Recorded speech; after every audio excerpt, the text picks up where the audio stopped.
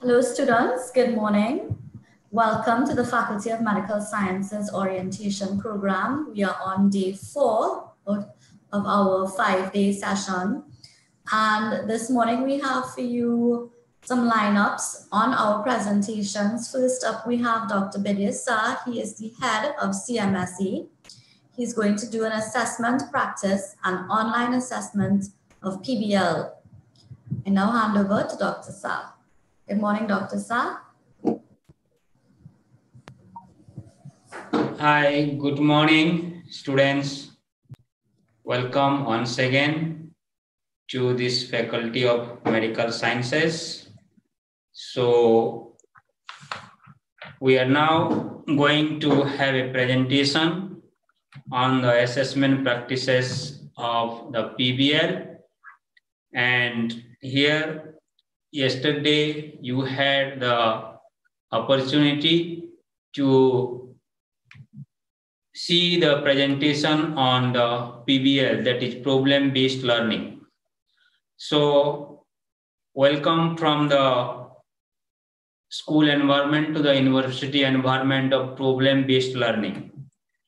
So problem-based learning basically engage you, involve you in solving the problem, in analyzing the problem, and in critically and clinically thinking the problem. So when you talk about curriculum delivery, I will take you through my presentations now. The critical issue of the problem-based learning is the assessment.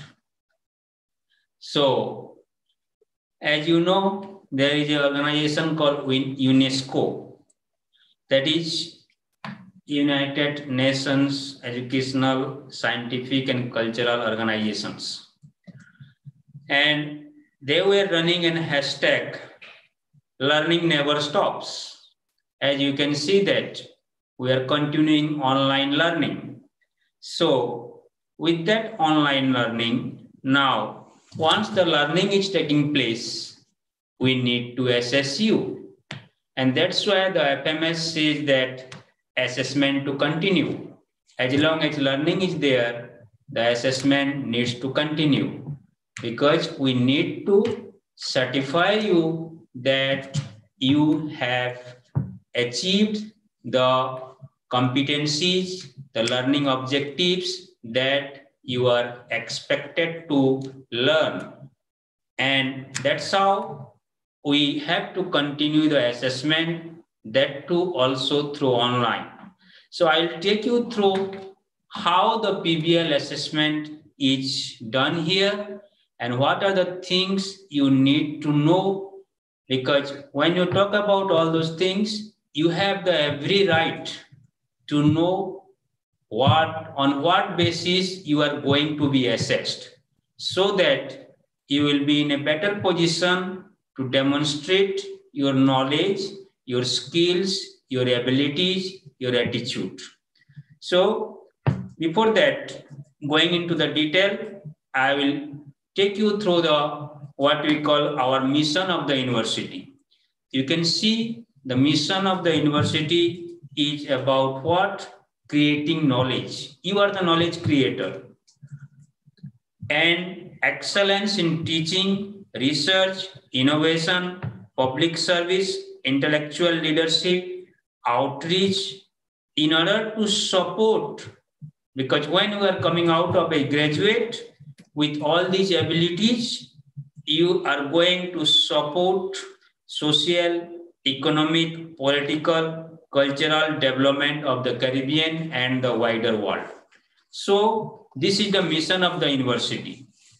And again, in that way, our FMS mission is very clear here that Faculty of Medical Science, Faculty of Medical Sciences, the mission is to train health professionals to meet the needs and improve the care of those whom you will serve. So to strive for professional excellence while contributing to the social, economic, cultural, development of the Caribbean, and also inculcating the graduates as an attitude of lifelong learning. You can see that I have highlighted in red the lifelong learning. So what I mean to say that you can see very clearly the mission and vision of the faculty is in alignment with the mission and vision of the university. So what I'm trying to say here, we would like to demonstrate this. In order to be a successful graduate, you have to learn all these skills. Because when you are coming out of the University of West Indies, you are expected to be a distinctive UWI graduate. And what are the characteristics of a distinctive UWI graduates? That they must demonstrate the critical thinking. They must demonstrate an effective communicator. They should be IT literate, information technology literate. They should be innovative and entrepreneurial in their thinking process. And also, they should be aware of the development taking place globally as well as locally and regionally so that their thinking will be guided for the social development and cultural and environmental development of the region by strong ethical values. So I talked about so many things about the UWI distinctive graduates. So in order to reach that, we need to train you in such a way that you will be entitled to claim that we have those characteristics. Again, I will just talk about one model here. When you talk about a medical expert, whether it is from nursing, whether it is from dentistry, whether it is from pharmacy, any school, we think that they are the professionals. They are the communicator they are the collaborators and they are the health advocate, they are the manager, and they are the scholars. So, in order to inculcate all those thinking into your learning process, what we have done is our problem based learning. Now we can see that how our learning process is not just we want to problem do problem based learning because we want to inculcate all those qualities in you that's why we have to go for problem based learning. And this problem based learning it requires you. What does it require? It requires to develop hypothesis in a problem which we already have learned yesterday presentations. It, it requires you to raise the issues. It requires you to develop the learning outcomes develop the hypothesis, develop the research questions, select the problem, identify the different sources. These are the involvement of the students in, in all the different processes. So in order to do that, you must have certain qualities. And these are the qualities we are looking for. What are the qualities? You should have a right attitude attitude of what? Right, right attitude of solving the problem, right attitude of thinking, right attitude of interpersonal skills, right attitude of having communicated with your peers. So what I'm trying to say here, my dear student, is that you, you have all those qualities in you that's why you are selected to this faculty. Through problem-based learning, we will nurture it further. And again, according to our standard, how much you have achieved those qualities, we will try to assess it. When you talk about assessment, what happened? This is, I will just try to show a video to you. I am trying to can you play it? So,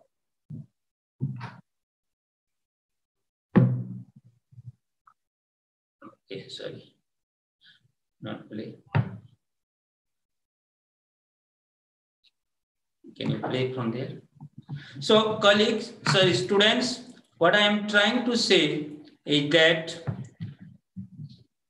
uh, you, when you talk about assessment, you see here how the students get panicked.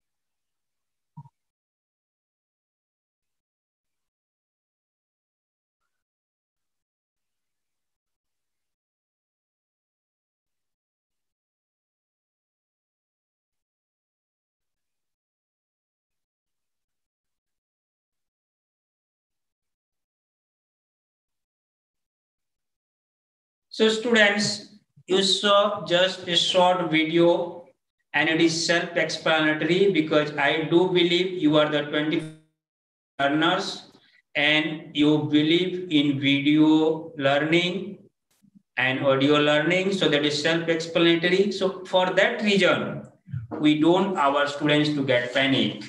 For that reason, we have this all orientation session to update you what is expected from you.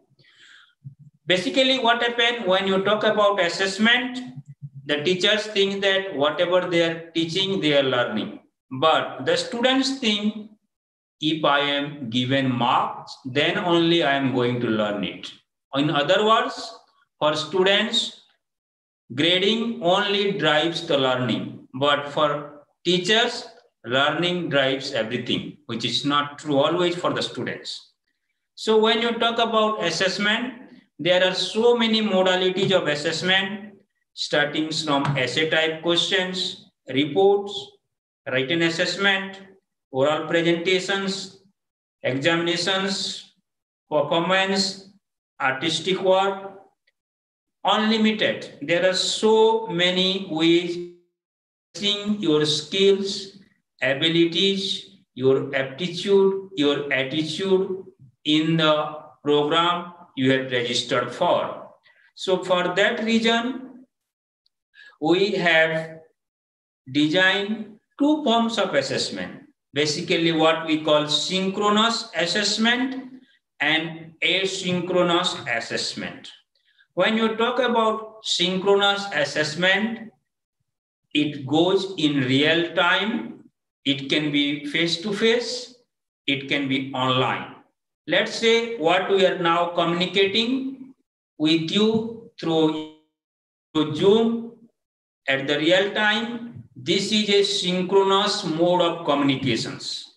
So if I want to conduct a Viva oral exam or any other thing I can conduct, then it will be called synchronous mode of assessment in real time.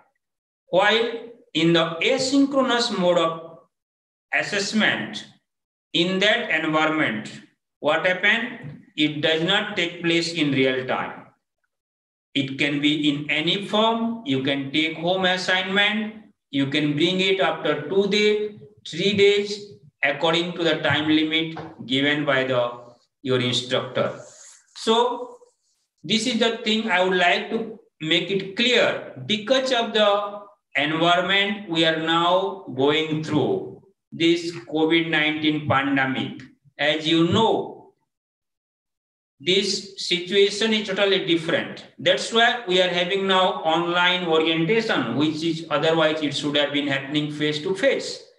So as your mode of teaching is also now online, so also your mode of assessment will be online.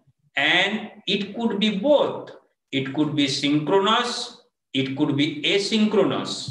But we make sure that our assessment practices are fair, accessible to all our students, and we maintain the integrity of our assessment. So now I'm talking about these two things here. In the semester one, all the students from vet school, from dental school, and from medical school, they have to go through these courses. One course that is from the preclinical department, that is MDSC 1401, that course called Environment and Health. And the next course is paraclinical. Those are the two courses, 1405, 1406, and they are called Basic Paraclinical Sciences 1 and 2 respectively. So when I say this, each department operates according to your, according to their own practices. So I will talk about now first preclinical department. So whatever course you have now, that is MDSC 1401 or any other course you will be going through the preclinical department in the semester two and one, then the assessment mode will be what? There will be two parts. One is 30% continuous assessment and that 30% continuous assessment will consist of 5% PBL process assessment, which I will talk about now, 10% PBL explanation and objective assessment, which I will talk about now. Rest 15% will be in terms of the any seminar any laboratory sessions that they would like to conduct. Now, next 75%, because of the situation now, we cannot have the face-to-face -face exam. Most probably it will be asynchronous, take-home exam. So for that purpose, it can be any form. It can be essay type questions. It can be MCQ type questions. For all those short answer questions, name it, any form. But here it could be, there will be a time limit and the minimum time limit set by the university is 24 hours. 24 hours minimal, minimum time limit to submit your exams. Now, when you go to paraclinical department, if you see here that in the paraclinical department, uh, again, 30% is the continuous assessment. Here it is a little bit different. 5% PBL assessment is the same for everybody, but there will be what we call progressive disclosure question that will contain 25% of your marks. And again, the final exam, which could be asynchronous for your final semester exam, that will carry 70%. And again, it could be essay type questions, extended matching questions, or multiple choice question, or short answer questions, or any other form of assessment that will assess your critical thinking, your clinical reasoning, your clinical thinking skill that will be assessed. So again, here you have 24 hour time limits minimum. It can be 48 hours, it can be 72 hours, depending upon the nature of assessment task. Now, coming to here, I was talking about MCQ. You know it very well. When you talk about an MCQ, then there are two types of MCQ in the medical field. One is what we call correct answer type MCQ. As you know, in MCQ, we have four or five options. For one question, you have to choose the correct answer. So when I say correct answer type MCQ, what I mean is that out of the four or five option, one answer is correct beyond doubt. That's what we call correct answer type MCQ. But when you talk about best answer type MCQ, you know that you are in the medical profession. Nothing is absolute. Where most of the expert agree, the degree of correctness of the question or answer depends. So you have four or five options. One, because there is, you see, in the medical profession, there is no, this is the only treatment you have for this patient. There are so many treatment available for different patients. So that's why I say this is called best answer type questions. So you will be given again four or five options. You have to choose the best option. That is what we call best answer type MCQ. Now EMQ, here extended matching questions. It is just like an MCQ, but here we have to answer that where there are more than five options.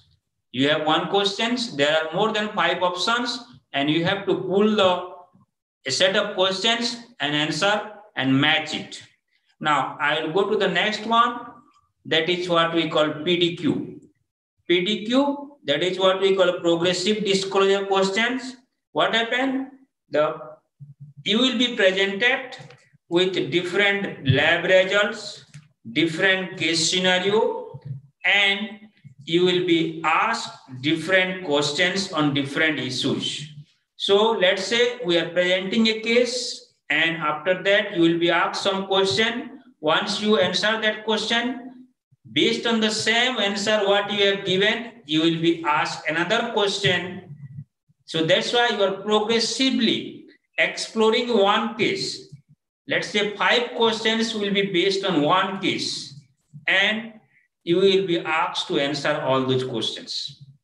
Now, I am going to the next present next slide here. Now I am coming to the PBL process assessment. There are two issues here. When you are conducting yourself, that is the PBL process in the PBL tutorial and knowledge aspect.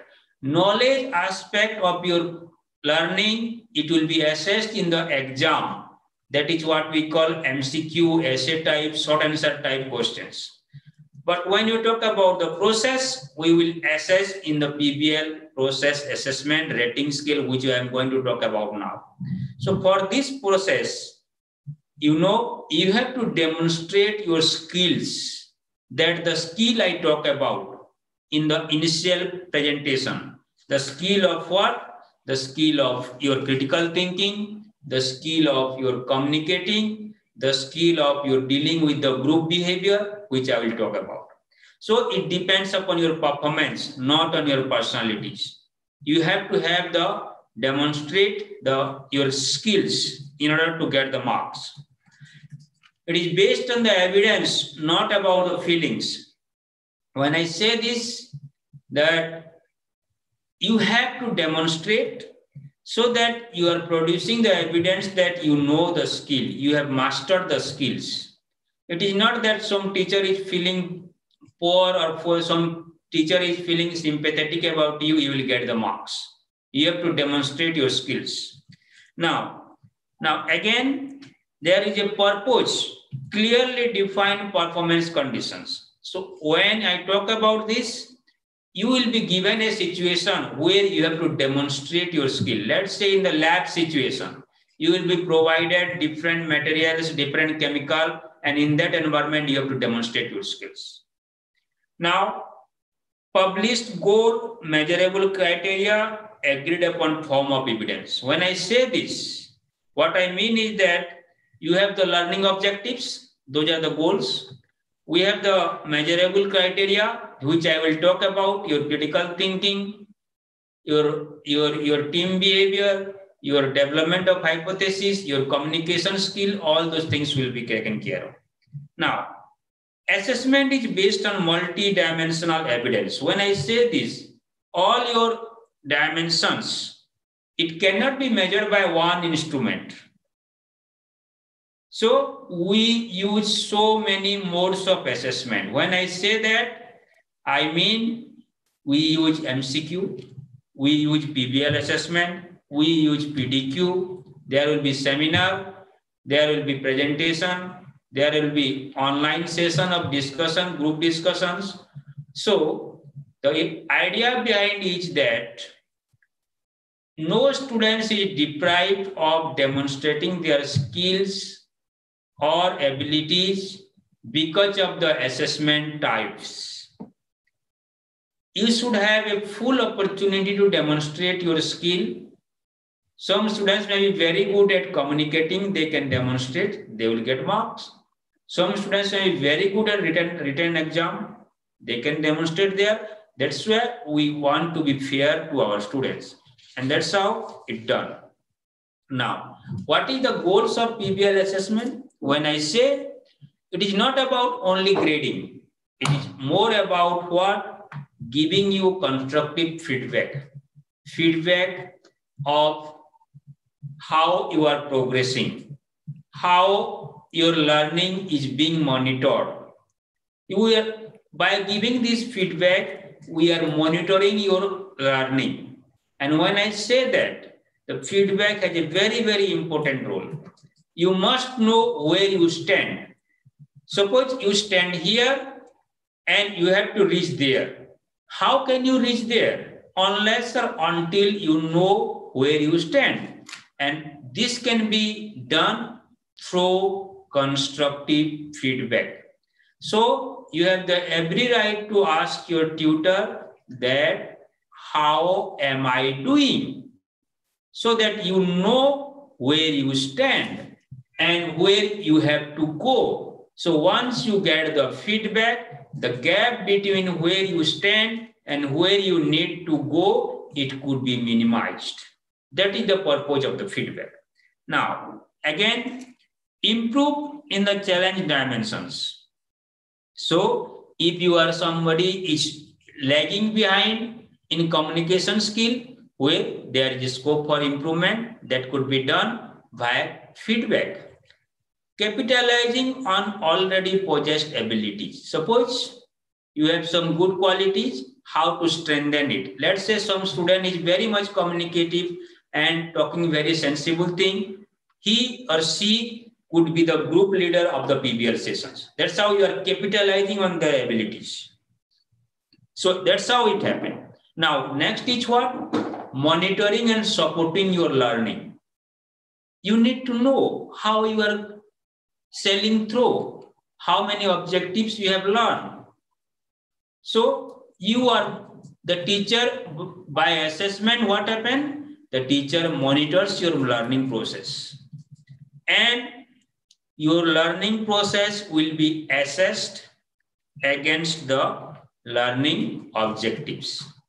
And finally, we are giving grade. It is not about the grading only.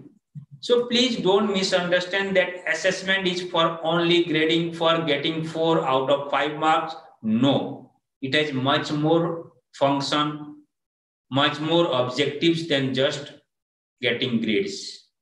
Okay. Now, I'm talking about PBL process assessment. Here, we, through the different approaches, the PBL process is assessed, but here you are using, what we are using? Tutor facilitator assessment model. When I say this, What I mean is that the tutor who will be facilitating your PBL tutorial, he will be assessing you. And the absence from the any PBL class and non-engagement in the PBL process, definitely it will affect your overall assessment. Now, I'm coming to the next slide here. When I say PBL process, as I mentioned before, it is 5% out of the 30% assessment. Now, whatever criteria we are listing now, I will talk about that. Then it will be, you will be assessed on those criteria. So during the PBL process, you are not only assessed on the basis of your knowledge, but also you will be assessed on the basis of your skills, attitude, and values. And you will be assessed on a six, sorry, five point scale from very poor to excellent. So now again, I will go back to the slide that I had initially presented to you, just to relate you that, okay, this is the thing, these are the aspects necessary in the PBL process. And these are the qualities which is needed to perform competently in the PBL tutorial. So accordingly, these are the assessment scale we will be using, which I will be, this is a, just the form that will be used for your PBL assessment. So what are those 12 criteria? I will just read out in my next slides. Then we will talk about it. Now, the first criteria, the 12 criteria, you see here, here we have the 12 criteria and that 12 criteria is assessed on a five point scale from very poor to excellent and overall assessment from novice to expert or master. So in that 12 criteria, what are those criteria? Because as you know, we have a seven steps process of the PBL. So in that seven step, what we have to do is that when you are defining the problem, you should be able to define, clarify, analyze the problem. The problem you will be presented by the tutor. Now, next, what we need to do is that for the definition of the problem, you need to define the problem. You have to clarify the problem, translate the problems into different tasks, and your analysis of the problem should be very much insightful. So these are the things you are looking for. And I am sure that you will be shared one introductory PBL booklet, or you might have been already shared. So if you see that booklet, everything is written there. Now, second criteria. What is the criteria? Ability to generate hypothesis and test the hypothesis. So hypothesis means what? The intellectual guesses. Intellectual guess. So when you talk about intellectual guess, your hypothesis should be sound intellectually, it should be relevant, and it should be deep insight. When you say deep insight, it should talk about the problem according to your learning objectives that has been given by the, sorry, that, that will be developed by the group in the tutorial sessions. The next is generate the learning objectives. You will not be given any learning objectives. The tutor have the learning objectives. So what learning objectives you will develop after going brainstorming the problem, after looking for the literature, those objectives will be now what happened? You have to develop. And when you are developing those objectives, it must be significant, it must be unique, it must be innovative, it must be insightful, and it must also talk about significant issues of the problem, relevant to the problem. That is what we talk about. Then only you will be assessed. So if you are developing a very good, relevant, meaningful objectives, what happen? You will get five in the five point scale. If your learning objective is very low standard, not relevant to the problem, you may get one. If your learning objectives are average, you may get three. It depends. Now, again, what are the next one? Coming to the next uh, criteria, ability to select, sort, synthesize, evaluate learning resources. So when you are doing the brainstorming, before doing the brainstorming, you have the opportunity to look for the different sources. So make sure that you are, when you are discussing the problem, you are quoting the information from the authentic sources, the high quality informations, and you are able to get the correct information, quality of the information is authentic, and you are using the correct way to collect the information so that when you are sharing the information in the group, it will not be questioned. I'm, I'm not talking about questioning about the issues. I'm talking about the credibility of the information that you are sharing there. It should not be questions.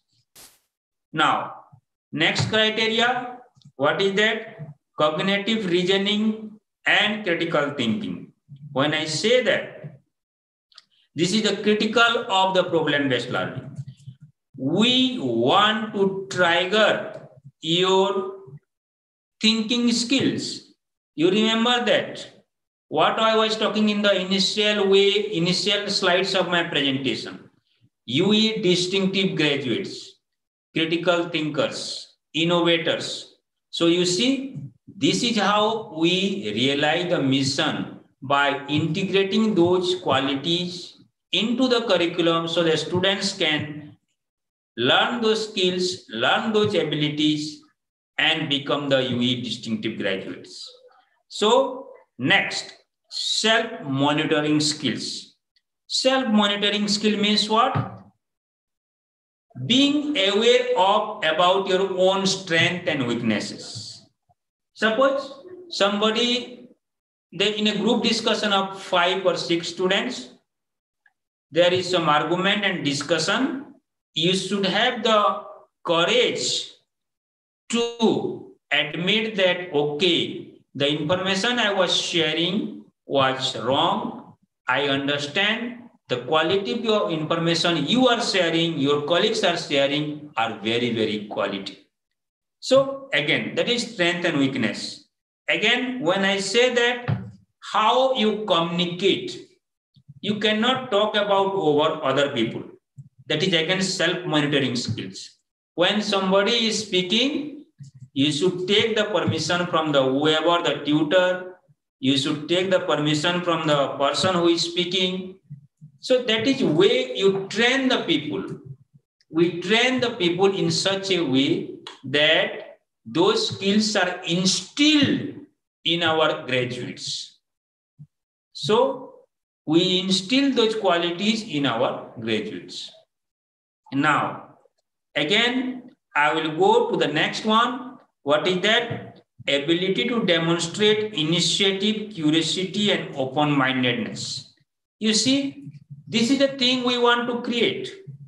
I understand you are coming from a different school across the country, across the globe, across the region. Now, university is a platform. You have to interact with people from different culture, different religion, different countries, different ethnic background. So you need to be open-minded. So the same way you need to be open-minded in your campus life, in your online campus community, same way you need to be open-minded in accepting the views during the PBL problem views of others, you should able to respect it. You may disagree. It is okay to disagree as long as you are not disagreeable. So the point I'm trying to make is that you should be open-minded.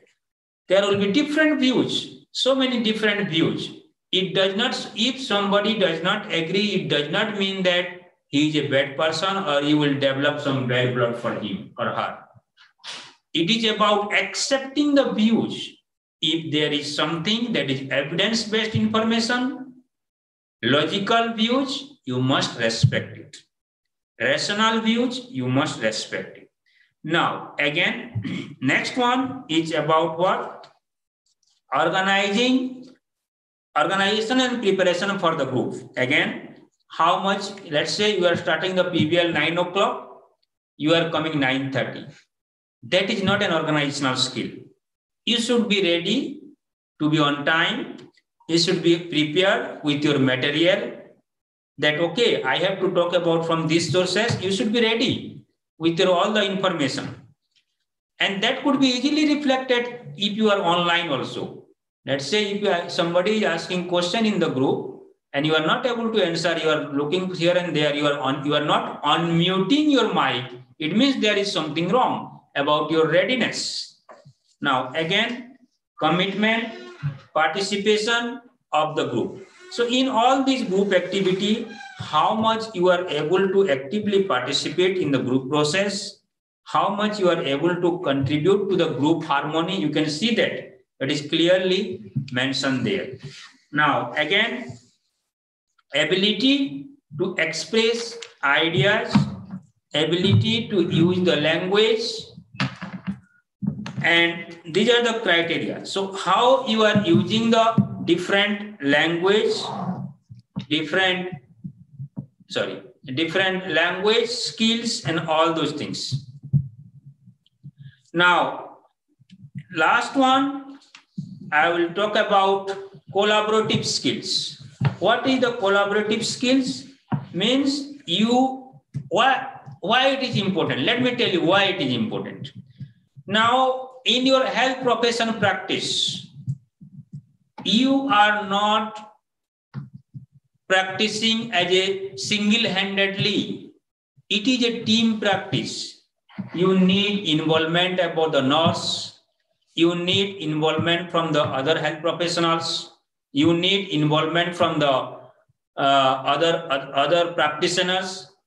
Let's say you are in a operation theater you are not going to operate by yourself. Now you may be taking, doing some operation in the operation theater by a team of doctors. So you should be able to make collaborative decisions. How, and that skill, you see how futuristic, how futuristic is PBL learning.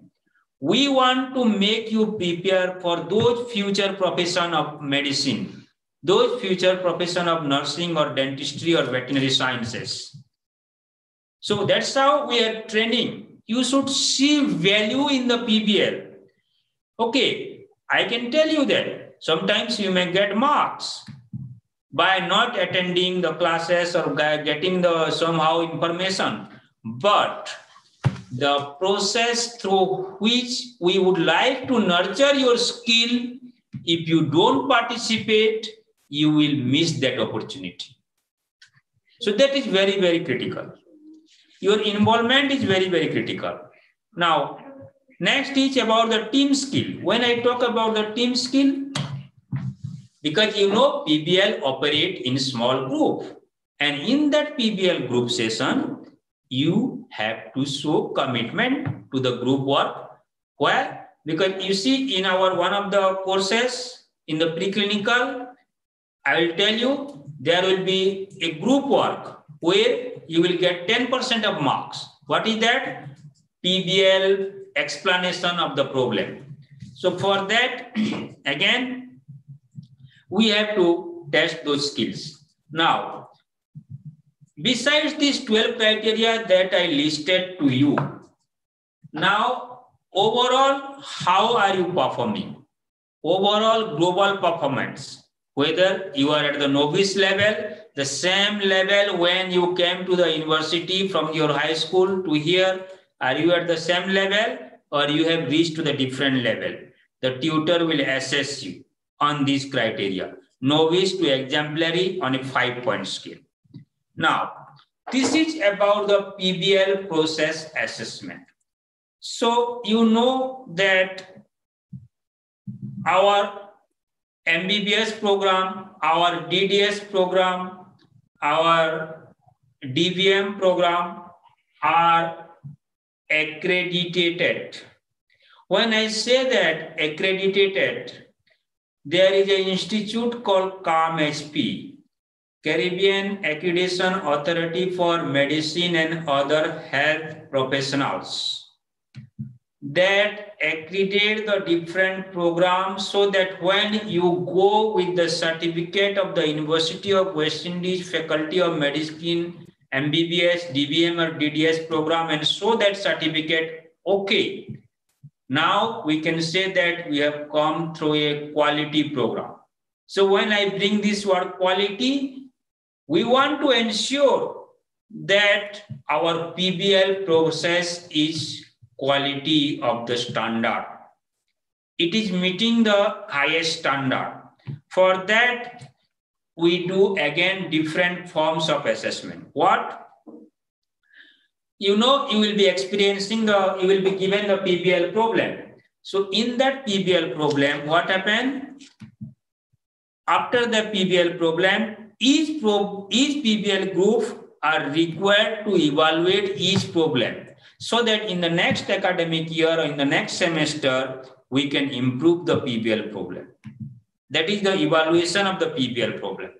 And in that PBL problem evaluation form, besides the 5% just I explained about the 12 criteria you will get, in some courses, you will be assessed on students' evaluation of the PBL and that will carry the 10% of the marks just I mentioned before.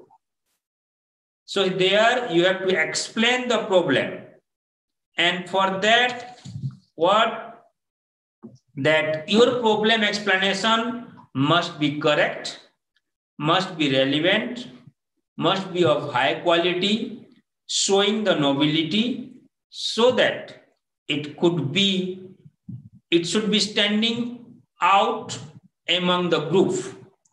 And for that marks, whatever you will get, 10% marks, it is a group mark you will get.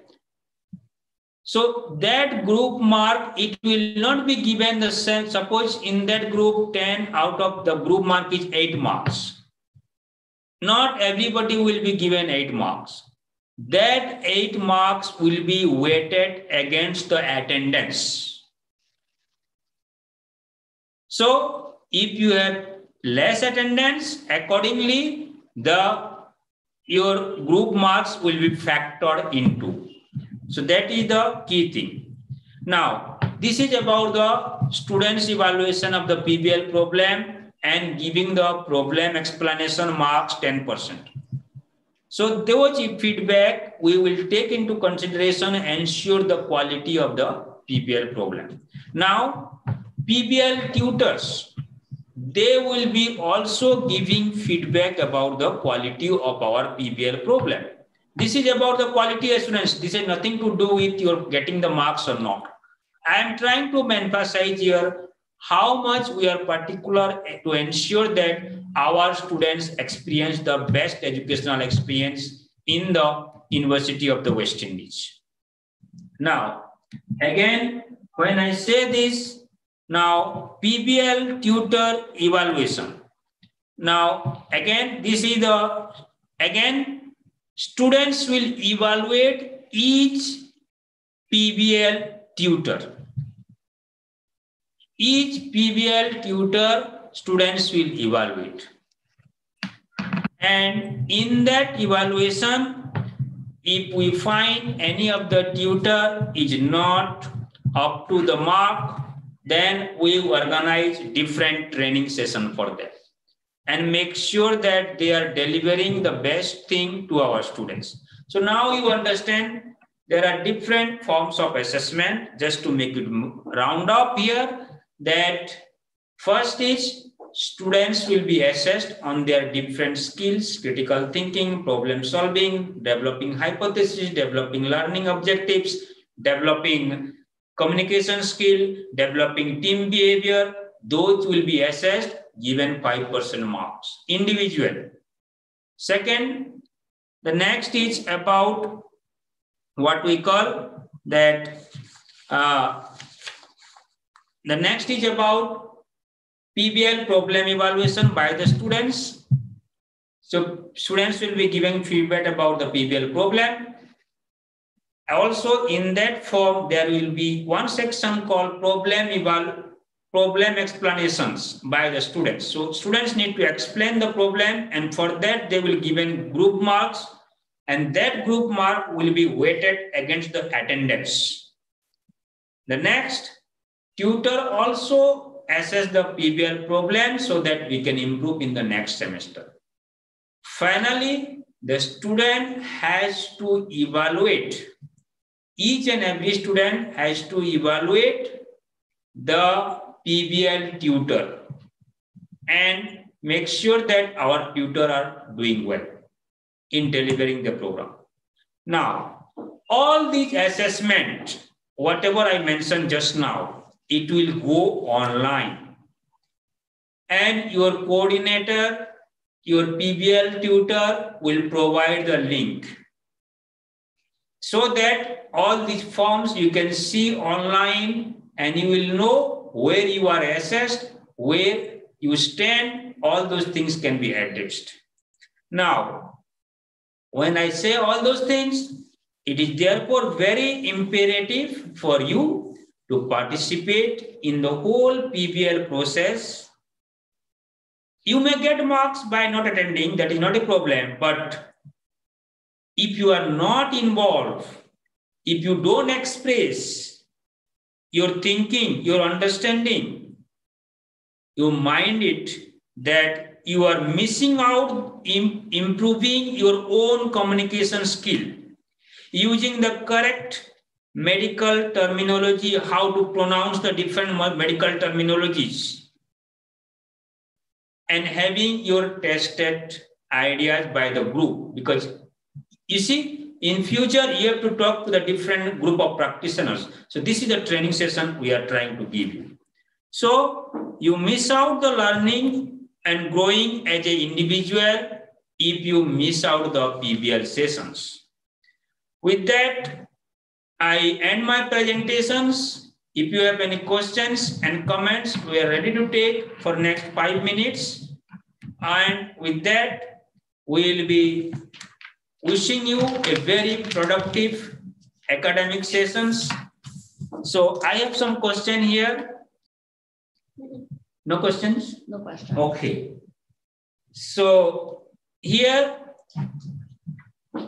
with that, we end our session. So I hope if you have any questions or any comments, you can talk to directly to your PBL tutor, directly to your course coordinator, and make sure that you are being engaged in the PBL tutorial online. For us, it may be first time online PBL, but you are the 21st century learners. Be mindful of it. So the 21st century learner should be engaged online. There are universities there doing this online PBL long time back. So don't miss the opportunity to get engaged in the PBL session, express yourself. It will be a great opportunity where you will be trained as the best professional in the future. Let me tell you just before ending, we have only one minute here. Before ending, I would like to say that our graduates stands out. Sometimes students don't realize the importance of the PBL when in the, they are in the preclinical years. But when they go to the clinical years, they learn the importance, how to communicate, how to talk, how to pronounce the correct medical terminology. So they learn the importance. Even the external examiners for your uh, seniors, there is strong comment that our graduate stands out because of this PBL. We can strongly attribute that our final year graduates, they stands out because of this preclinical experience of the problem-based learning. With that, I end my presentation. Thank you very much. Once again, best of luck and welcome to the Faculty of Medical Sciences to all the programs you have registered for. So now I have the opportunity to introduce my dean, our dean, Dean Professor Terence Seemungal, who is a professor of medicine, who will be addressing you about students advising issues and he will be guiding you how we you will be placed in this esteemed faculty. So Prof, you are welcome to this session. Thank you very much. Thanks, Dr. Sa. I was listening to your talk. Well done. I, I quite impressed. A tour de force on PBL. Thank you very much. PBL is in Thank fact uh, very, very uh, a cornerstone of our clinical training. Problem-based learning is what we uh, have to do in, in, in, in, professional practice, whether it is optometry, uh, nursing, clinical medicine, veterinary medicine, dentistry, or pharmacy. We are always faced with professional problems and we have to come up with methods of solution uh, based many times on incomplete knowledge of the problem. That type of approach you will learn a lot more of when you get to the clinical years, but it is important that you are introduced to that type of thinking now. That's the purpose of it. Um, Dr. Reed and perhaps Dr. Khatija Khan, I, I seem to have misplaced my copy of the program, but Dr. Reed and Dr. Khatija Khan will be coming to talk to you all just now, and I don't wish to steal their thunder, as it were. But what I want to do is to just uh, tell you all what a pleasure it is to welcome you into this faculty. Uh, it is the oldest faculty of the University of the West Indies, having started in 1947 in Kingston, in Jamaica. And in 1969, as you may have heard, we started the fifth year teaching in the medical school. So that was the only school that was opened here. And in 1976, we added the fourth year, but the full five-year faculty that would be teaching in a medical school did not commence their work here until the late 1980s, and our first graduates were 1991, 1992. At that point, we had a veterinary school, we had a dental school, and later on, the School of Pharmacy and the School of Nursing. Uh, those two schools were added. So it is a faculty that has been going for some time and has a lot of experience in the training of students at professional level. You will notice, those of you who have done other degrees, that there's a difference in our degree structure, our courses, compared to other faculties. You have no choice. And when we bring our questions, you also have no choice. The reason is that when a problem presents to you in professional practice, you have no choice. You can't refuse it. That's your profession, it's what you do. So you're expected to have a minimum basic knowledge, something that we call minimum competence in all areas of the curriculum, which allows you then to practice at an appropriate level professionally. And that is the assurance that we give to the society. I need you all to understand this. that you are involved in the care of other people's health. Apart from the veterinary school where it is animals, but they are still living beings. And you bring professional, a professional level of expertise to the care of these living beings. And the society has a trust that you will do that in a certain way, and that is the way that we teach you. So when we graduate you, we have to be able to assure the society that you have met that minimal level of competence.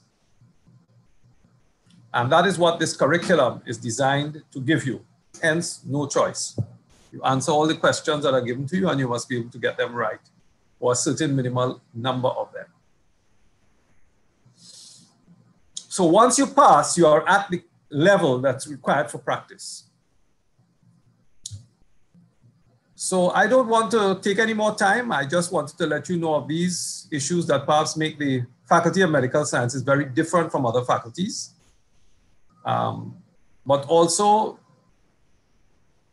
understand that we are aware that because of this, uh, the way that the, the, the, the, the curriculum is structured, you will get stress. We expect that you, all professions have stress. That's how it is. We have to learn to cope with it, but we also have support structures within the faculty, and Dr. Reed and her colleagues will advise you about that. So without further ado then, I thank you for joining us this morning and I look forward to hearing Dr. Reed's and her colleagues' presentation. I see Dr. Rafiq there. I guess you are joining her, Dr. Rafiq. Is that right? From the dental school. Okay. Thank you very much, all of you. Thank you very much, Professor Seemungal, for that welcome. We now, next up on our program, introduce Dr. Sandra Reed, Dr. Sandra Reed is the Deputy Dean of Clinical Sciences for all schools in the Faculty of Medical Sciences. She is a psychiatrist and teaches in the psychiatry unit where year four students meet her. Dr. Reed is also the chair of the Academic Advising and Mentoring Committee with a passion for ensuring that students have the optimal experience during their academic journey. Dr. Reed, I welcome you. Thank you, Ms. Ramata Singh. And good morning, students. Good morning, colleagues. I would like to join with everyone you have heard from so far in welcoming you to the Faculty of Medical Sciences. It is a unique time to begin your journey in your selected health profession. You have an exciting four to five years ahead. We just have to trust that the challenges of the COVID 19 pandemic will serve to build your resilience and your capacity for coping as you are forced to adjust to the new normal. So, as your orientation progresses, this morning's focus is on academic advising and mentoring in the faculty. If you have heard that the programs in the faculty are stressful and demanding, that's true. Medical education is not a breeze. But what is equally true is the fact that you have come into this faculty with the ability to succeed, the resilience to cope with any hurdle, including the COVID 19 pandemic, and the capacity to be a successful professional in your chosen field. I like to think of academic advising and mentoring as one of the links between those two things your challenges and your potential. It's the activities of the faculty that ensure that you complete your program successfully and on time, in spite of whatever is happening with and around you. It's about recognizing when the way you approach your work is not the way that brings your best performance. And it's also about stress, the stress of your program, and from whatever life throws at you in the next several years. Succeeding in spite of stress requires an awareness of when one is stressed, being able to cope in a healthy manner and not just ignoring it, and also being aware of when it begins to affect you academically and doing something about that. For some, that happens naturally, but the aim of academic advising and mentoring at the Faculty of Medical Sciences is to encourage you to do just that. So, what exactly is academic advising? Put simply, it is any interaction between you, the student, and an advisor that assist in the development and achievement of your educational goals. It may be as simple as getting information, let's say about registration or how to sign up for a co-curricular course. The administrative assistant in your school or department is an academic advisor who can direct you to necessary information, answer your questions, and help you to settle in.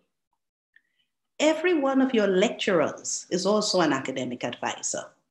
Talk to them if you are experiencing any challenges. The idea is to deal with the problems before they get big enough to affect your academic performance and result in failure. If you should fail an exam, the academic advising becomes mandatory.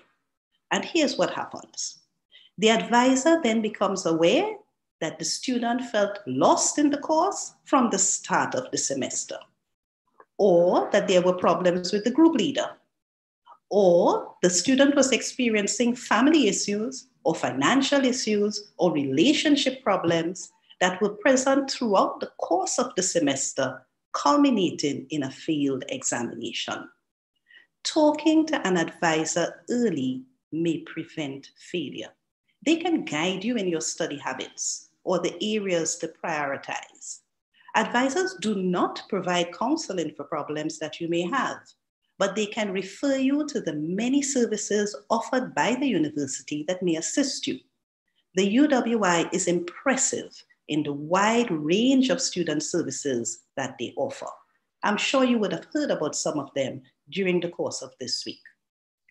Sometimes it's not an academic issue that you want to talk about. You may just want to get some personal support and guidance as you navigate the academic program. You may have questions like Am I in the right field? Am I responding to this pandemic in a healthy way? How do I manage career and family in the future? Is the specialty, um, spe- specialty I'm interested in likely to give me the income I desire? All of those are matters that you might want to discuss with a mentor, someone who is experienced in the field and can provide healthy, informed discussion. We encourage every school to randomly assign each student to a mentor. This is done in groups, and you should receive information on your group members and your assigned mentor within the next couple of weeks. We encourage the mentors to set up WhatsApp groups for easy communication, but the times are challenging now and persons are stretched rather thinly. So if you don't hear from your mentor, don't hesitate to reach out to him or her as an individual or as a group. Finally, the faculty is committed to helping you cope with the demands of your program through workshops and stress management activities, which are planned based on feedback from you. So we want to hear from you through your class rep or directly to me or Ms. Ramuta Singh, who is hosting this uh, orientation via email. And we want to solicit your participation when these activities are scheduled. In a little while, Dr. Khatija Khan, psychologist on the Academic Advising and Mentoring Committee, will give you a preview of the kind of support we provide for students in the area of stress management. Before she comes on, however, I am pleased to introduce to you one of your peers, a student, Nirvana Dipnarain, in the class of 2024. I thought it would be very instructive for you to hear firsthand how an academic advising session might be useful. And she has kindly agreed to share with you one of her experiences of academic advising in the faculty. So without further ado, I wish you all the best in your program and I hand over now to Ms. Dipnarain. Thank you very much.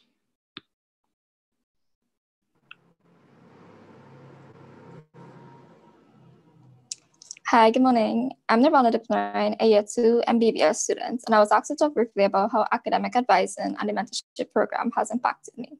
But first, I would like to welcome you guys to the Faculty of Medical Sciences, and as well as your first step onto the path of becoming a healthcare professional. I know that right now, I mean, it seems that you're getting full medical school experience from being at home, but I hope you guys could really make the best of it before we could be back on campus. Now, my first encounter with academic advising was at the start of first year, just like you guys are right now. But of course, this was during pre-COVID times. And during that session, they aided us with registration, which was very useful because we were quite foreign to this concept of registering online and we were unfamiliar with the program that was used and whatnot. So they really guided us through that process and they also gave us an idea about what to expect with classes and whatnot.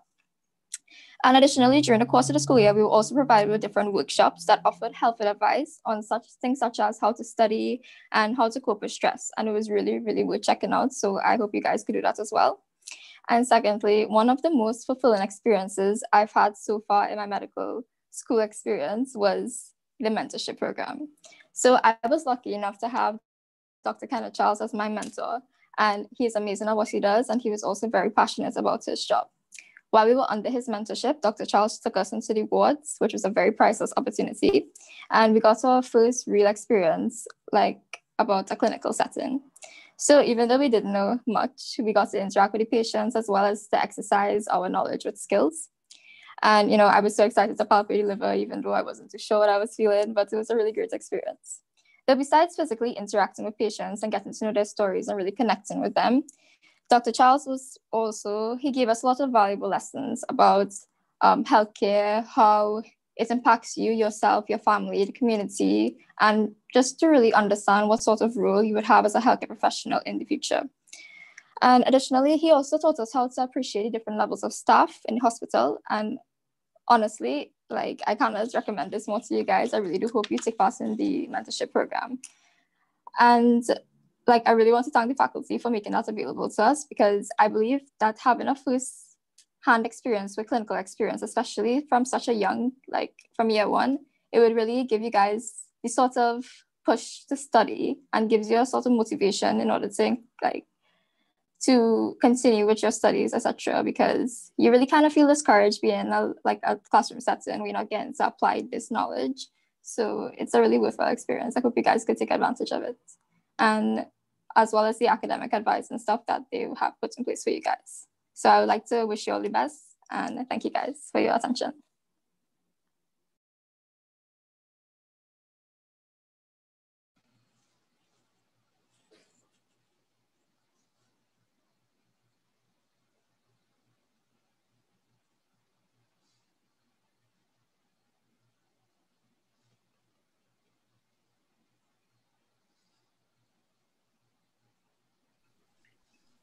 This time, we would hear from Dr. Khatija Khan. As I said before, Dr. Khan is the psychologist.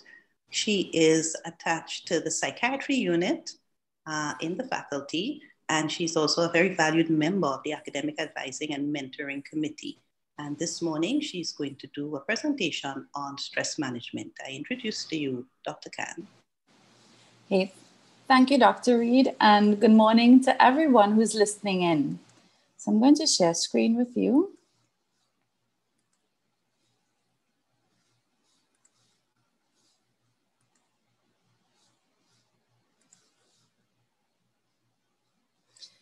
So today I want to talk to you about how to thrive in medical school. We don't just want you to cope with medical school. We don't just want you to get by in medical school. We want you to thrive. And so today I'll be talking a little bit about how you can uh, help manage some of those stresses that come with medical school.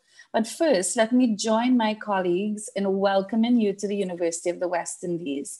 I hope you're as excited on this day as we are to welcome you. Uh, the idea of welcoming another cohort who are going to be future graduates of the university fills us all with a lot of pride. And in addition to welcoming you to the university, we'd also like to welcome you to our Faculty of Medical Sciences. So we see this as a culmination of one of your dreams, getting to medical school. And we are quite keen and eager to help you get to your other goal, which is graduating from medical school. But first, let's acknowledge where we found ourselves today. So usually when we give these talks, we're face to face in Amphitheater A. And one day before you graduate, you are going to experience being in Amphitheater A. But because of what's going on, unfortunately, that's not the situation. We are all facing this global pandemic. And we have to recognize the effect that it's having on us. So, first, let's acknowledge what the stress impact of the pandemic has been.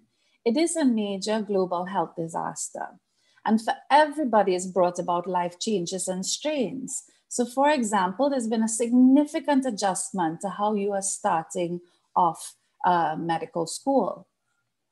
It poses chronic stressors because at the beginning of this pandemic, we would have hoped, I think everyone had hoped, we'd be able to welcome you back to the campus. But unfortunately, or rather, we adapt and we welcome you online to the campus instead. But what that is demonstrating to us is that this pandemic is a chronic stressor. And because it's so uncertain and we're not quite sure how it's going to play out, we're going to have to learn how to deal with it for some time longer. And then finally, this pandemic can also pose daily hassles. So if anybody had difficulty logging on, if anybody had some connectivity issues, these little hassles may confront us.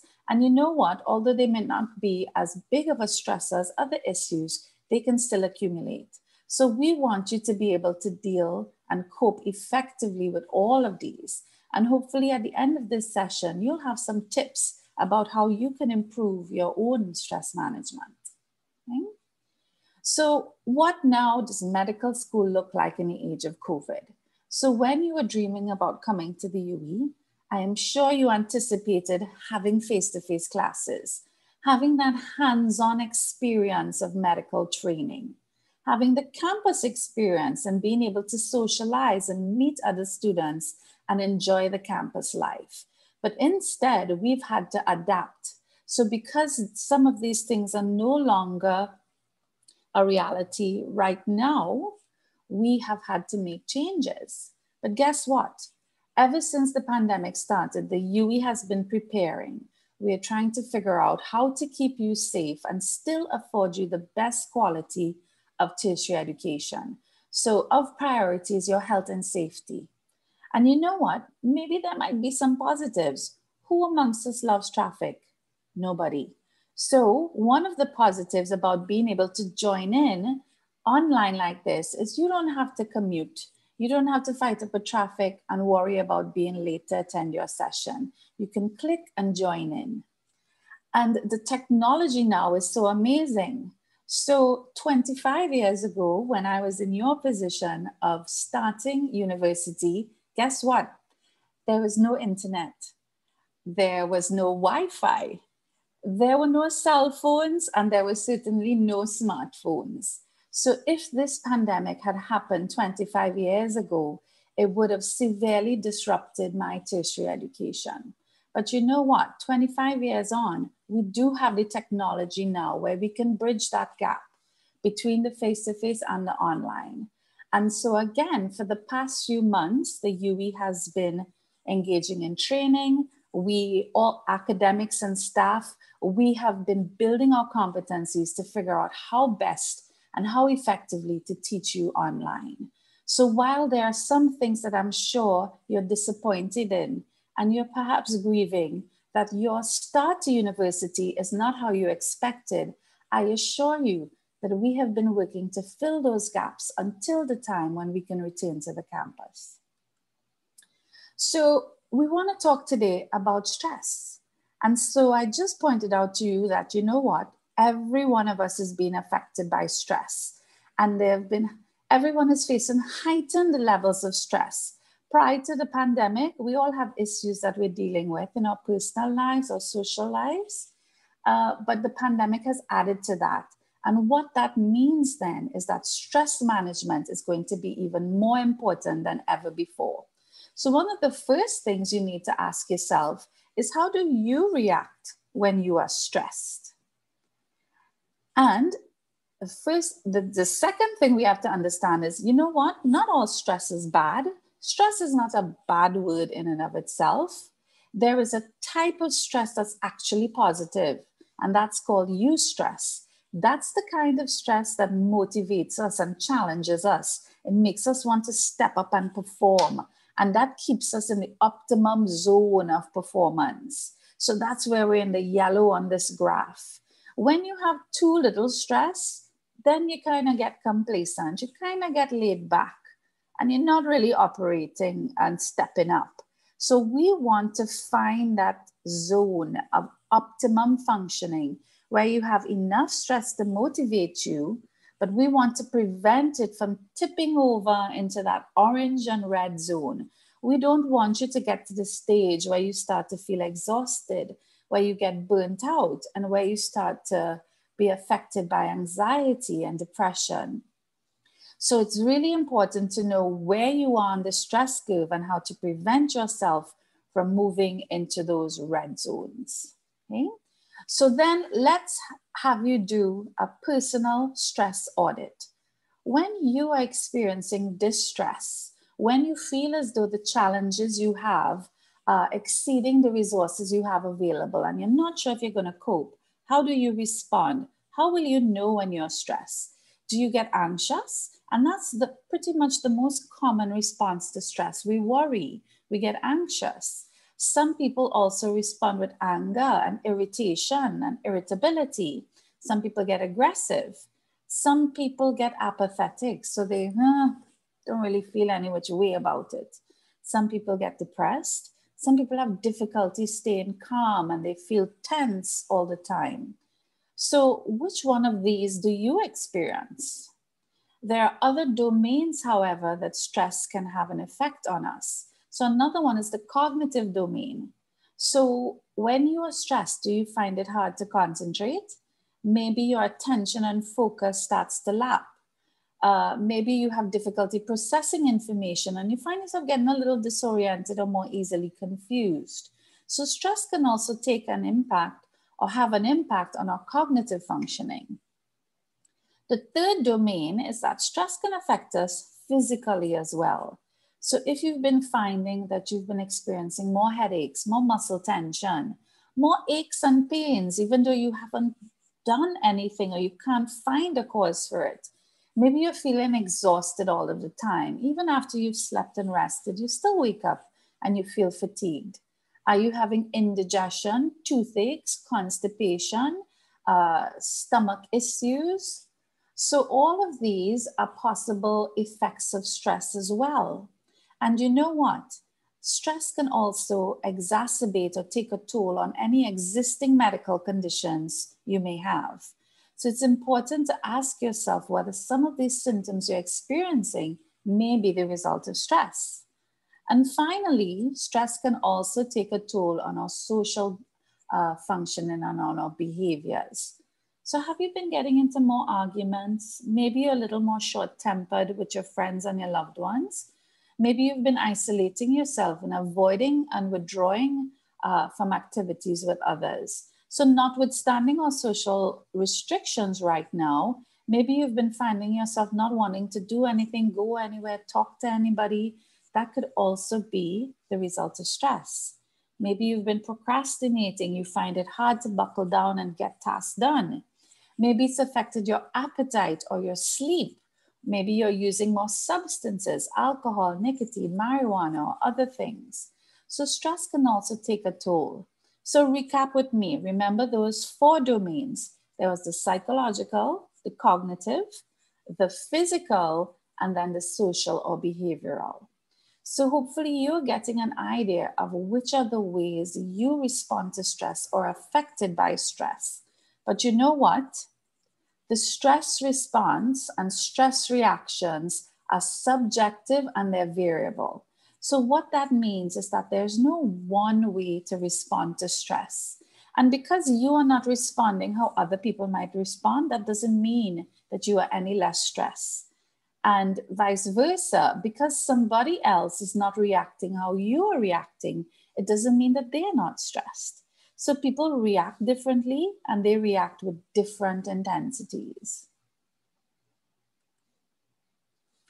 So now that we know that we are all experiencing heightened levels of stress, and that we can be affected in different ways by stress and it can affect us in different intensities, we know that stress is inevitable. But you know what? While stress might be inevitable, burnout or the effects of negative stress is very preventable. So let's focus a little bit now on how we can prevent the negative effects of stress. So, and maybe this might be the first quiz question you get in medical school. So have a think about this. Your family has a strong history of diabetes and hypertension. What do you do? Hmm. So many of us in Trinidad and Tobago, across the Caribbean, wherever you're from, many of us may have family history. We know somebody in our family who has diabetes and maybe they have hypertension. And what do you do? So if I know it runs in my family, hmm, then I might be more aware of my heightened risk.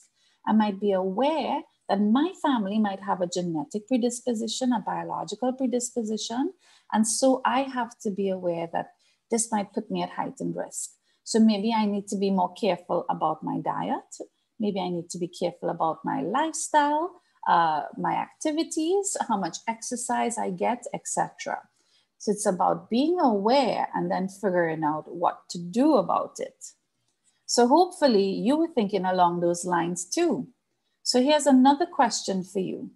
Your program or discipline has a high risk of stress and burnout. What do you do? So you heard it from Dr. Reed, you heard it from uh, other colleagues uh, uh, during this week. This profession, this discipline that you've chosen comes with a high risk of stress and burnout, but that does not mean that it's inevitable. So, what do you do?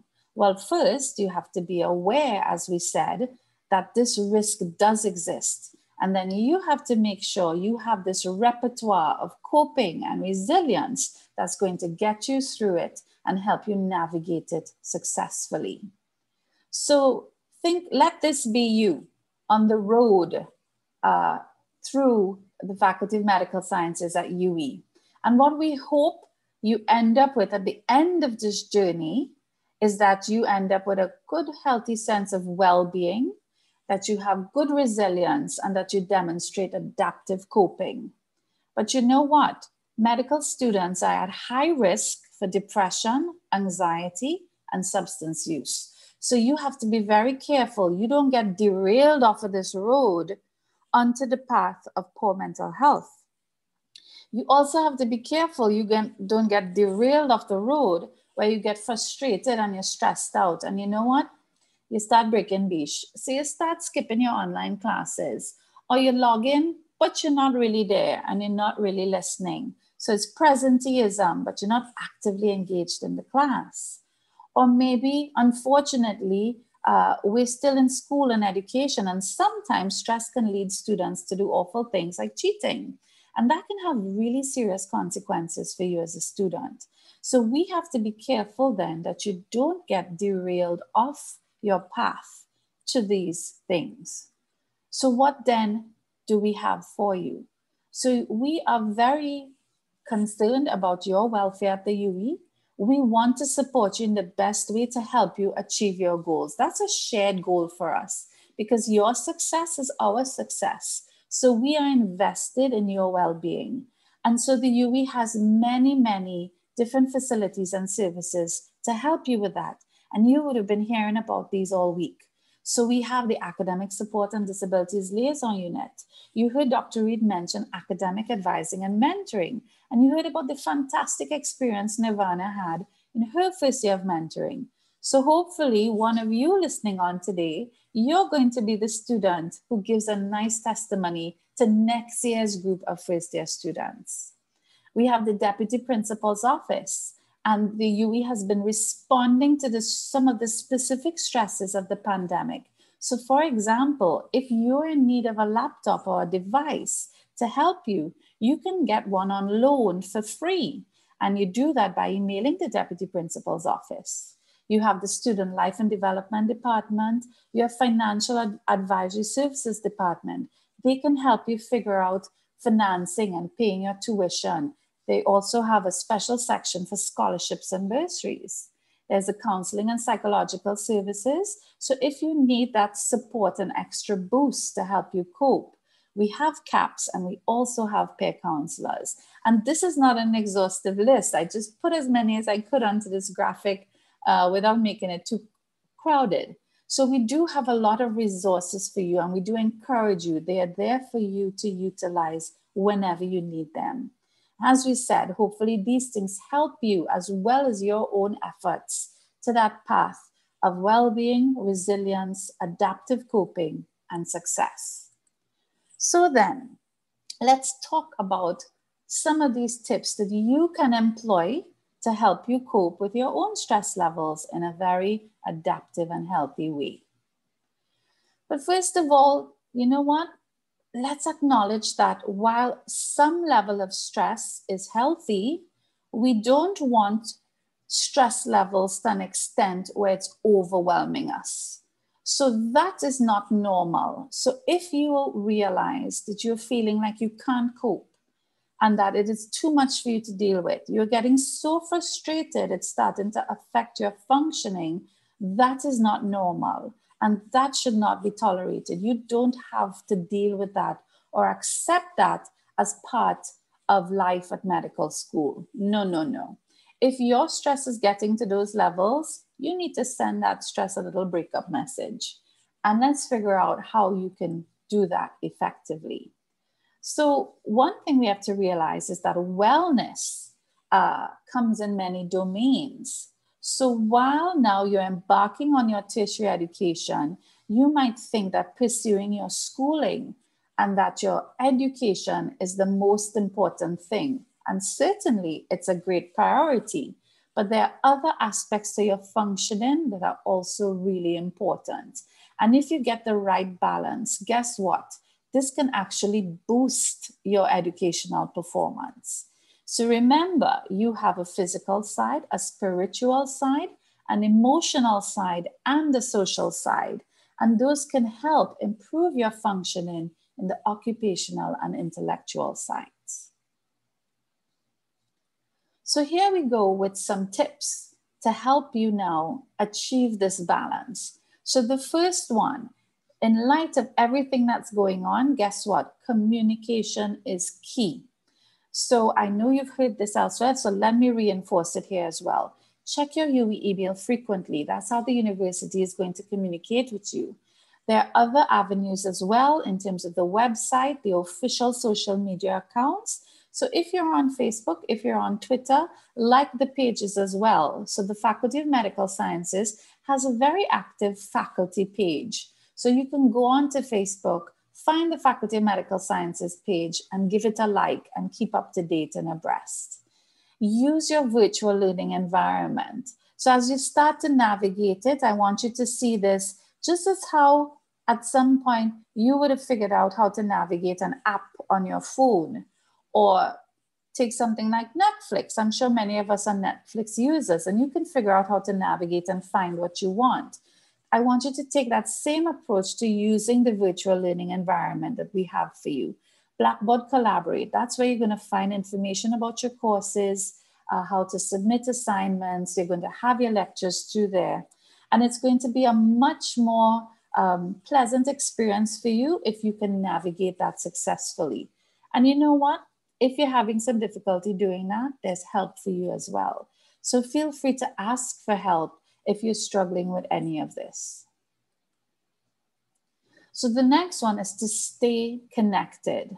Now, the thing about having these online sessions is that sometimes you can feel a little bit distant and you can feel a little bit isolated.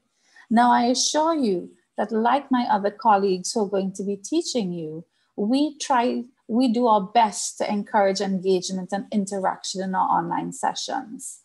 But I want you to be wary that you don't start to get too isolated. Because remember, with this pandemic, it's about physical distancing, not social distancing. So keep those lines of communication open and make sure you have regular check ins with your peers and friends and your mentors and your family. So, one of the, the good things about the students at UWI is that you all find ways to stay connected. You'll have your WhatsApp groups and you can check in with each other. You can crowdsource solutions. So if you're having difficulty finding something, just ask somebody in the chat and I'm sure they'll be willing to help you. And then if you're not sure, check in with the faculty, check in with the dean's office, check in with your advisor, check in with your mentor, but stay connected. And then this is a really important one. Now, one of the things this pandemic has done is it has brought a lot of uncertainty. And it means that not just uncertainty, but everything's changing so fast. So as soon as you adapt to something, the situation changes and now you have to readapt. So in light of that uncertainty, what can help you maintain a sense of control is if you take control over the things you can. So for example, maintaining a routine. So I do encourage you to have a timetable, set up a schedule, and then slot in all of the activities. So you have classes, study time, uh, your leisure, your time with your family, time to eat, time to rest, time to play with your pets, time to sleep. I encourage you to try and maintain a routine and stick to it as much as possible. That structure is going to help you manage your stress in face of all this uncertainty. And use the technology to help you. So, for example, um, one of the things I found in the pandemic is I don't remember things uh, as, as easily effectively as I think I would. So I have taken to making sure I use my phone, the calendar on my phone, and I slot meetings in, classes in. I also make notes on the phone. And sometimes I use good old pen and paper and I jot down a to do list for the day. And then I take a lot of pleasure in crossing off those items as I've achieved them. So, whatever the means, if you have a whiteboard that you want to write on, if you like to use a notebook or a diary, if you like to use your phone, whichever you fancy, utilize it and let it help you maintain and keep the routine. The next tip, and oh dear, I think my numbering is off on this tip, uh, is about self care. So while you are now embarking onto you're going to, there's going to be pressure to keep up with everything, a lot of studying, a lot of new information, a lot of adjusting. In order to help you cope with that, your self care is going to be critical. So you have to remember to take a moment to relax, take a moment to de stress, take a moment to do something fun. Uh, and I use this maxim everywhere and with everybody. When I'm speaking to students, fellow colleagues, fellow health workers, fellow psychologists, the general public, parents, uh, anyone, you can't pour from an empty cup. And this is an especially useful lesson for you as future doctors. You are embarking in a profession where you don't just give, uh, in terms of your technical skills, you give of yourself so, your bedside manner, your rapport, how you interact with patients, uh, also has an impact on their positive health outcomes. So, you need to take care of yourself in order to help take care of others as well. So, remember that and picture it. You can't pour from an empty cup. So, you need to find ways to recharge your cup. So, what do you do for fun? Do you garden? Do you cook? Do you draw? Do you dance? So make sure that you're finding a way to take care of yourself as well. Okay? So, this is one way that you could take care of yourself, but it's so important that I felt this deserved a slide of its own. Exercise, exercise, exercise. There is so much evidence for the importance of exercise, not just for physical health, but also equally important for mental health. So, exercise is critical for your well being. And let's adapt. So, if you can't go to the gym as you usually would have, do it at home. Find a space where you can get a little exercise in. So, what does the what do the guidelines say is enough exercise? So, usually I would have paused and asked you to tell me, but I'm going to give you it. So, it's half an hour a day for at least five days a week. Okay. So, how many of us are getting that amount in? So I'll hold up my hand. I'm a little bit guilty. I don't always get it in, but you know what? The next day I'm going to try to get it in. And if you can't fit in the half hour all in one block, break it up. So maybe 15 minutes in the morning, 15 in the evening. But it's really important for you to get exercise for your mental health and go at a pace that is suitable for you. So, no, we don't expect you to run up Chancellor Hill the first. You'll learn how to share time you try to exercise. So work at your own pace, choose something that's very doable, and start off with those small gains until you get to a point where it's consistent. This having a nice exercise routine is also going to help you de stress throughout medical school. So, if you have those great habits already, that's fantastic. If you're like me and you need to increase it a bit, start now so that you can build that and it can take you throughout medical school. My next tip is to stop comparing yourself. How many of you are guilty of this? Perhaps you were doing it in school, comparing yourself to another student. Maybe you do it with your friends and you think about who's smarter than you, who is more articulate, who um, does better, but you know what? Comparisons are never fair because we never, they usually bias because we never actually quite have all of the information to make fair comparisons. So, you know what? Other people might be awesome, but you are awesome too. So, avoid that tendency to want to compare yourself because usually when we compare, we think we fall short. And that can affect your self esteem, that could affect uh, your self efficacy. So remember that there is room enough for everybody to be awesome at UWI. There's room enough for all of you to be awesome doctors in this medical school. And throughout the whole faculty. So no matter what you are pursuing, you can be the best at what you do by your standards.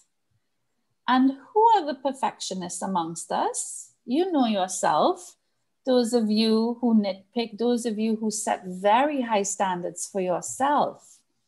So, this one talks about being wary of your perfectionistic traits. Perfectionism is usually associated with some rigidity and some inflexibility. And especially now we're in this, we're in this pandemic, and we may have to be uh, flexible and we may have to adapt to changes and things may not always go as planned, then be very wary that your overly high standards may actually be a barrier. So, guess what? We want you to aspire to greatness. We want you to succeed and fulfill your highest potential.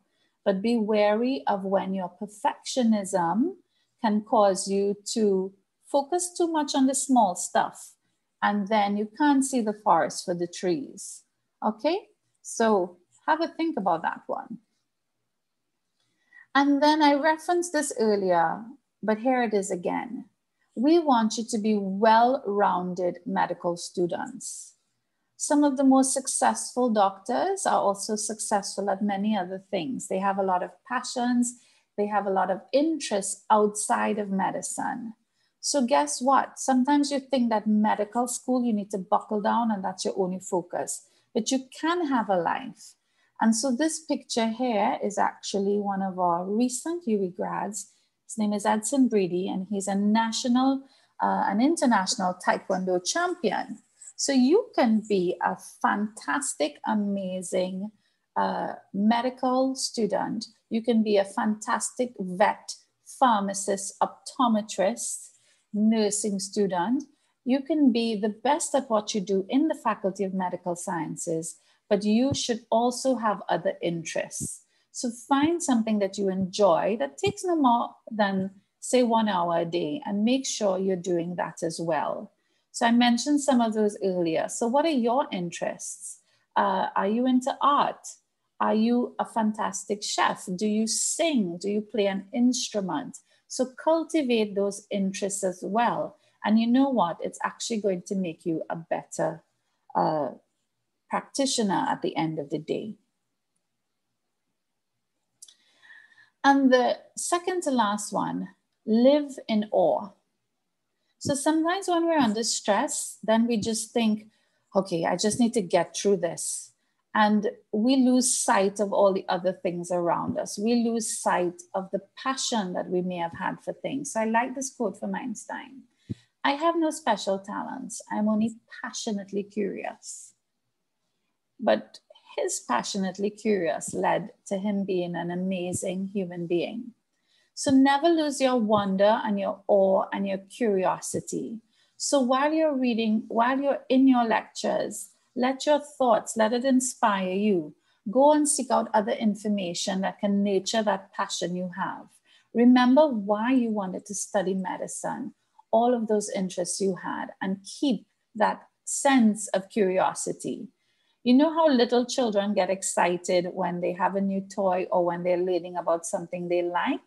Let's take a page from their book and let's let's make sure we don't lose that childish passion or interest for the things that we are doing. And finally, I want to encourage you to think positively. So there are going to be other things that on a daily basis that will stress you out. And I want you to be wary of losing your hope, uh, losing your sense of optimism. So there's also a body of research that talks about the benefits of thinking positive. And a positive mind often produces a positive reality.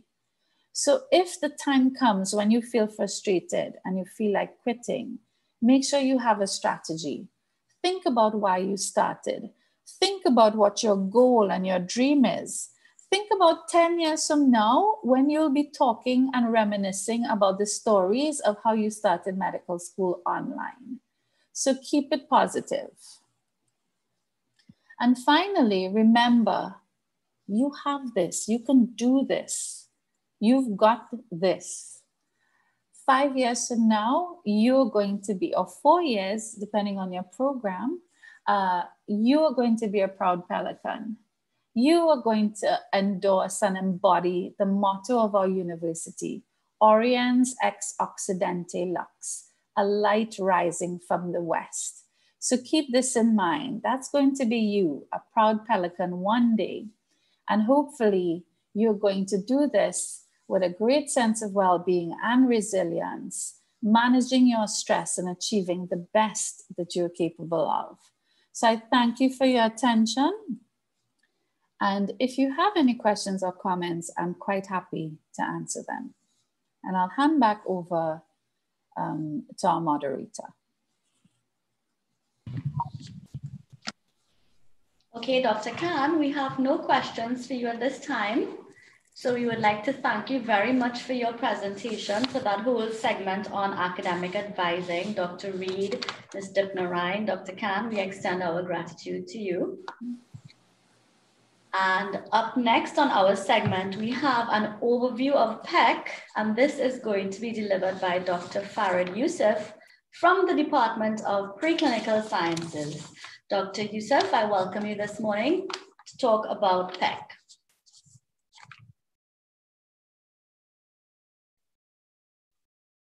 Okay, you are on mute, so we will ask you to just unmute. Great. Thanks, Rihanna. And um, let me welcome all of our new first year students. Well, this is quite an experience. And um, you are the pioneers. You are the ones who are going first. Um, if, I'm, if I was in your shoes, I'm not even sure if I would be uh, actually listening to myself after having to do three days of online already. Uh, so the world is different. The world is new uh, things are changing around us.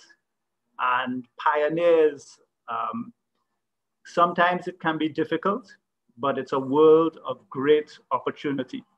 So let me just take uh, this opportunity to welcome you and say how glad we are to have you here at the Faculty of Medical Sciences. I'm really, really, really disappointed that I can't see your faces. Uh, I'm looking forward to seeing your faces in the not too distant future. Uh, but for the time being, uh, we're going to discover uh, how to make this work, and we're going to discover uh, new possibilities and new things that are going to emerge inside of this space of online uh, university. So I'm going to try and share my screen now. So if you just give me a minute, I'm usually quite good at these things. So I'm going to do share screen and get my PowerPoint and click there. So I'm hoping uh, that uh, you are seeing that. But one of the things I've learned very quickly about the online world is there are going to be little gaps, there are going to be little issues. And I know if you're not seeing it, you're going to put something on YouTube, the whole world is going to see that. And then Rihanna is going to come back and tell me. The fact that I haven't gotten any uh, feedback from Rihanna so far means I think we're on track and we're moving forward. So I'm just going to give you a very, very brief introduction to your program in professionalism, ethics, and communications in health. Let me begin by saying that um, this might be uh, one of the courses that you pay least attention to. Uh, so I'm seeing a chat coming up. Oh, Brianna was just letting me know that you all are seeing the presentation. Yeah, this is one of the courses you may uh, pay least attention to. Um, but in many ways, it may be one of your more important courses. Um, next week, I'm going to ask you a question, and it's going to be a very, very important question. I'm not going to preempt that question now, but the things that we're going to discuss over the next two years for most of you and over the lifetime of your career at UWI related to professionalism, ethics, and communications are really going to determine a lot about your future. And so I know the tendency is you want to be a vet. And so you want to get into everything that it has to do with animals and taking care of them. Uh, you like optometry, you like physics, you like the principles of light, and that one's, that's what really excites you. But essentially, all of us, uh, what we're involved in is we're involved in working with people or working with other living beings. Uh, and that's your primary responsibility. Your primary responsibility is to a human being. Your primary responsibility, uh, now you've come into university, is to think beyond yourself and to think into the wider society that you're now going to serve. And that's what we're going to look at and trying to discuss in the courses in professionalism, ethics, and communication. Uh, so I'm looking forward to working with you, and I'm looking forward to uh, discovering uh, your future together. So this is a brave new world. Uh, things are changing all around us. If I asked you last year, what do you think your first day of university would like? I can guarantee, I am pretty much sure not one of you would have described it as is happening today. So things can change rapidly in the world. And we have to be able to adapt and we have to be able to change and we have to be able to see new hope and new possibility inside of that. And as far as professionalism, ethics, and communications uh, goes, one of the things that is happening inside of this COVID pandemic and inside of everything that's taking around us is we're having an immersion experience, COVID immersion experience. You are getting to live and to observe real time decisions that health professionals have to make, real time decisions and uh, uh, consequences based upon choices that are actually affecting you. Right now, health professionals are have to weigh up personal individual rights versus public good. Right now, health professionals have to consider their own safety, even as they're trying to take care of patients around them, as nurses interact with patients, as doctors interact with patients, as dentists have to uh, deal with their patients. And so if you look at COVID-19 and this current pandemic through the lens of professionalism, ethics, and communication, what you can discover is it's a tremendous learning opportunity for you, a tremendous learning opportunity for you to think about uh, what does it mean to be a health professional, and so that's the first thing I want to ask you to do. I want you to ask, I want to ask you to step back And don't just think about how is the pandemic uh, affecting you personally, how it's changed your expectations, but use the lens of the pandemic to think about what kind of professionals am I seeing in operation and how is that going to shape me going forward. I just want to uh, uh, share a little video here that just gives you a very real look into the issues being faced by health professionals in this pandemic. So I'm just gonna, if you give me a second, I just wanna set up something on Zoom to make sure that the sound is well taken care of. I'm stopping share. Uh, get that there. Optimizing screen, coming back to sharing with you. And hopefully now we can get that going. Honestly, guys, it felt like I was working in a war zone. I have some tears and crying right now because I'm so tired. A life saved from COVID 19 requires others accepting the risk of self sacrifice. For me to say I don't feel fear going into a room or anxiety, that my heart doesn't start pounding and my, my stomach doesn't turn is a lie. Canadian nurse Susan Sorrenti knows better than most the price of caring for highly infectious patients. In 2003, she contracted SARS while working at a Toronto hospital. She was then hospitalized for 17 days. That experience was devastating to me without I, I don't think without any kind of psychological help i could have gotten through it. Post-traumatic stress disorder is a common side effect of working on the medical front lines. Luke labas is an er doctor in new orleans treating an influx of covid patients in addition to the routine cases of shootings and stabbings. There's no way to come out of this normal uh, you know at least not having something kind of affecting your psyche and that's even before the pandemic started. Now, with the coronavirus overwhelming some North American hospitals, medical staff face the additional trauma of working without professional protective gear and soon may have to choose who lives and who dies. We're putting our own families at risk. And so when we then, quote unquote, pull the plug on somebody, it's hard to think about, well, is my is my elderly mother who lives with me going to be in this situation a week from now? Am I going to be the doctor that makes this decision for her? Mental health experts say an entire generation of medical workers will likely suffer prolonged psychological effects from working through this pandemic. But that hasn't stopped Sorrenti, the nurse who survived SARS, from extending her 27 year career a bit longer to meet the need. I was actually scheduled to retire um, in June, which I postponed because it's like, well, I can't walk out now. In the meantime, communities coming together to thank hospital workers are daily reminders of the public's appreciation for their compassion, perseverance, and bravery. Heidi Zhou-Castro, Al Jazeera, Washington. Excellent. So, just those last uh, words there give you some insight into what we might be thinking about inside of our PEC program uh, compassion, uh, bravery, uh, someone deciding to extend their career uh, to help serve others. Uh, at the same time, you see some of the challenges that are going to be faced, uh, and you need to consider as a health professional. what are your risks as you have to go out and take care of others?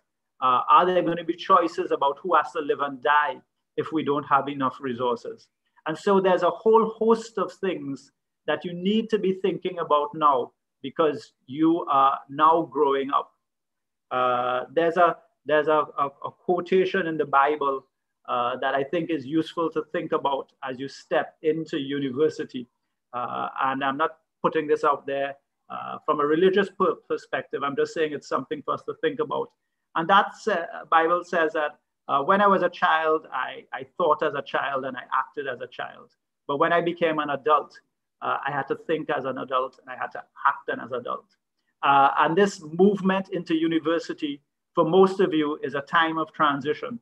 And in this course, uh, you are going to be challenged to think and act like a professional and to understand what that means Uh, and the COVID pandemic is providing a lens for us to look into that. Here's a quotation from an online newspaper. Uh, why would a slight 79 year old physician stand up to a volatile, combative president? Why do millions of healthcare workers, doctors, nurses, emergency responders, aid, transport specialists, and more risk their lives every day to care for those with COVID 19, a potentially deadly infection? Personal courage is part of the explanation, but there's more to it than that. What we're seeing is the professionalism of people like Anthony Fauci and thousands of healthcare workers. The essence of their professionalism is they put the interests of the patients and the public before their own. And we have to discuss that in this program. We have to consider what that means. We have to think about what that means for your life and what that means for my life. And it raises many, many questions, uh, many things to think about. And I want you to start thinking about these things now as you begin that transition from being a high school student for many of you and now becoming a professional and fulfilling the dreams that many of you had. So questions like I've raised already, how do you balance acceptable personal risk with a duty to care? Uh, it's a difficult question if you don't have PPE, uh, but you're still required to care. Yeah. How do you protect patient privacy while achieving transparency? That's a question we've seen often asked here in Trinidad. Uh, the public wants to know who are the COVID 19 patients, who's been tested positive. But patients have a right to confidentiality and a right to privacy. And if you tested positive or your mother tested positive, would you want everybody in Trinidad or the wider Caribbean to know. How do we make difficult decisions about who should get care when resources are limited? Uh, and there were questions about numbers of ventilators and things like that. But that's a question that comes up in other situations as well. And then as we have to deal with COVID-19, uh, how do we allocate general healthcare resources?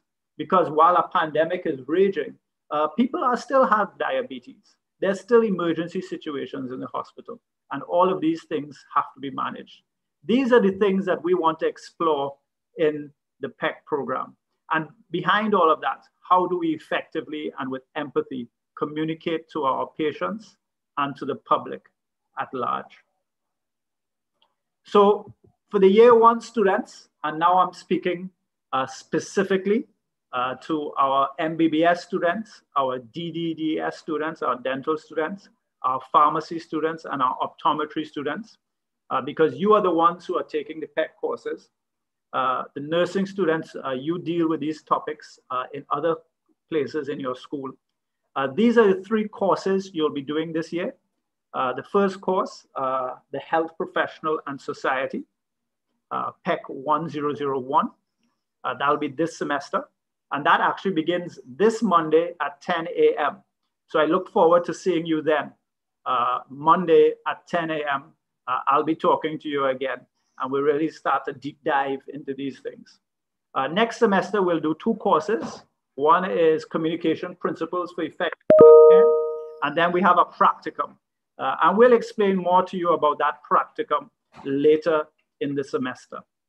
So I'm going to wrap up now and I'm just going to leave you with a quotation from Gandhi, who says, Be the change that you want to see in the world, or be a role model, be an example. And as you have stepped into the Faculty of Medical Sciences, you have stepped into a leadership role. You have stepped into the fact that you are now a professional in training. A few years from now, whether it be three years, four years, or five years, you're going to graduate and you'll officially be a professional. But I want you to think from now, from day one, that I am a professional in training.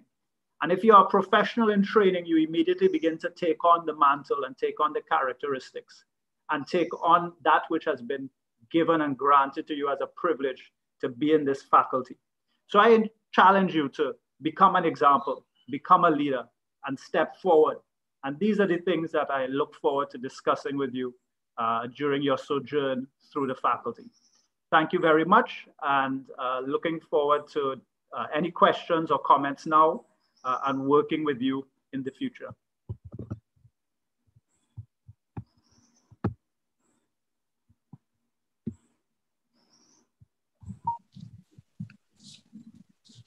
Okay, Dr. Youssef, I note that we have no comments for you this time on our live.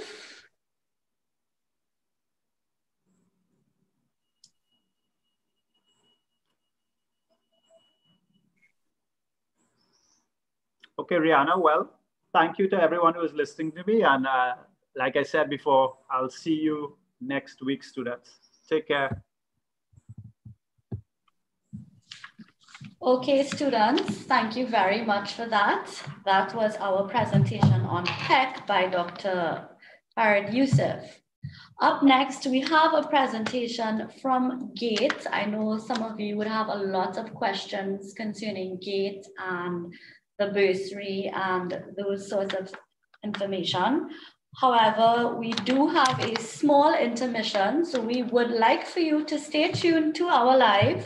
And in a few moments, you will be seeing a screen after which you can get some information and then we will have our segment on GATE.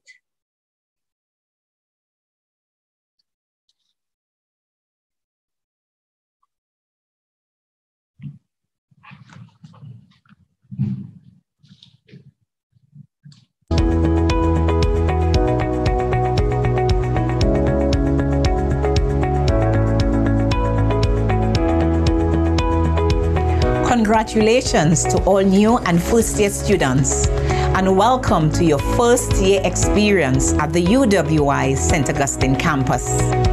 What an important choice you have made to pursue higher education, and what better way to do so than to hashtag BUE.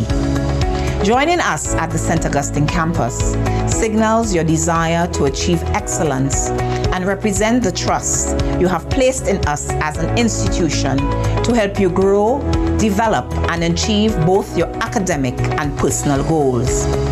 We thank you for entrusting us with this important responsibility and are excited to start this partnership with you. I bring you greetings on behalf of the entire team at the Division of Student Services and Development, otherwise known as the DSSD, your strategic partners in learning, development, and student success. As your partners, we want you to know that our collective team of eight departments regard your well being as priority. As such, we work to provide you with a positive, integrated, and holistic educational experience throughout your university journey.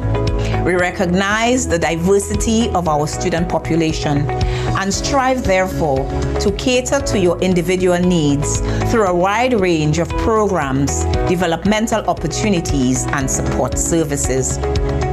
These include career guidance and management, accommodation, student leadership, academic support, counseling, financial aid, disability support, student activities and events, student employment, and community engagement.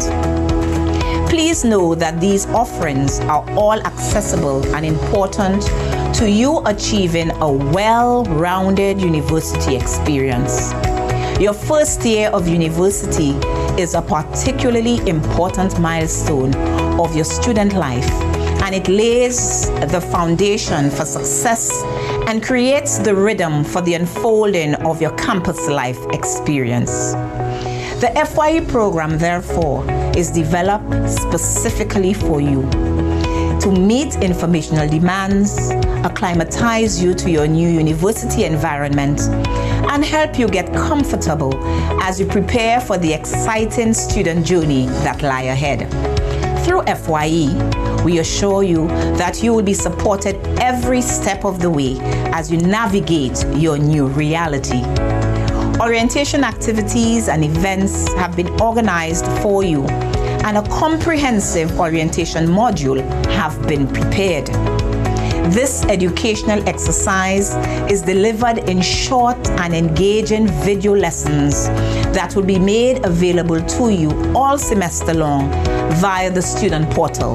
We encourage you to take full advantage of this invaluable orientation resource. Students, your time at the university is your canvas to create beautiful and rewarding experiences and to develop holistically. At the DSSD, we are excited to welcome you and to have the opportunity to help you achieve your goals while transforming your life positively and providing you with an enriching student experience. We congratulate you on the start of your journey to becoming a game changer and encourage you to connect with us as we work together in achieving the extraordinary.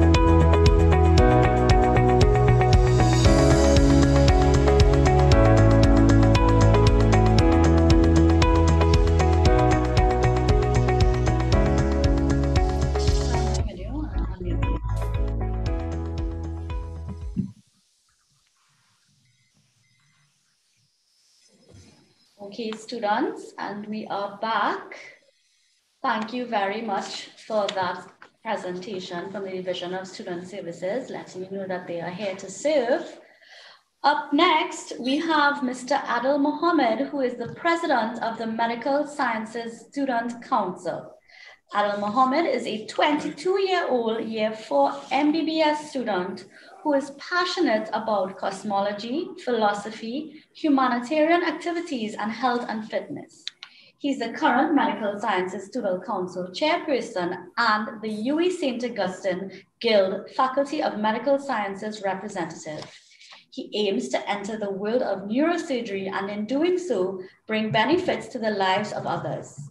He tries to live his life by a quote from one of his favorite cosmologists, Carl Sagan, it underscores our responsibility to deal more kindly with one another and to preserve and cherish the pale blue dot, the only home we've ever known. Thank you very much. I now hand over to you, Mr. Mohammed. Students, if you have questions for Mr. Mohammed, please note that you can type them in the chat and we will respond as soon as we get the chance. Mr. Mohammed, it's all yours. Hi, good morning, everybody. Um, so my name is Adil Mohammed and I am the Faculty of Medical Sciences representative as well as the president of the Medical Sciences Student Council, right? So I'm just gonna start, I, I prepared a little presentation for you all here today. So I'm just gonna share it. Apologies for the background noises.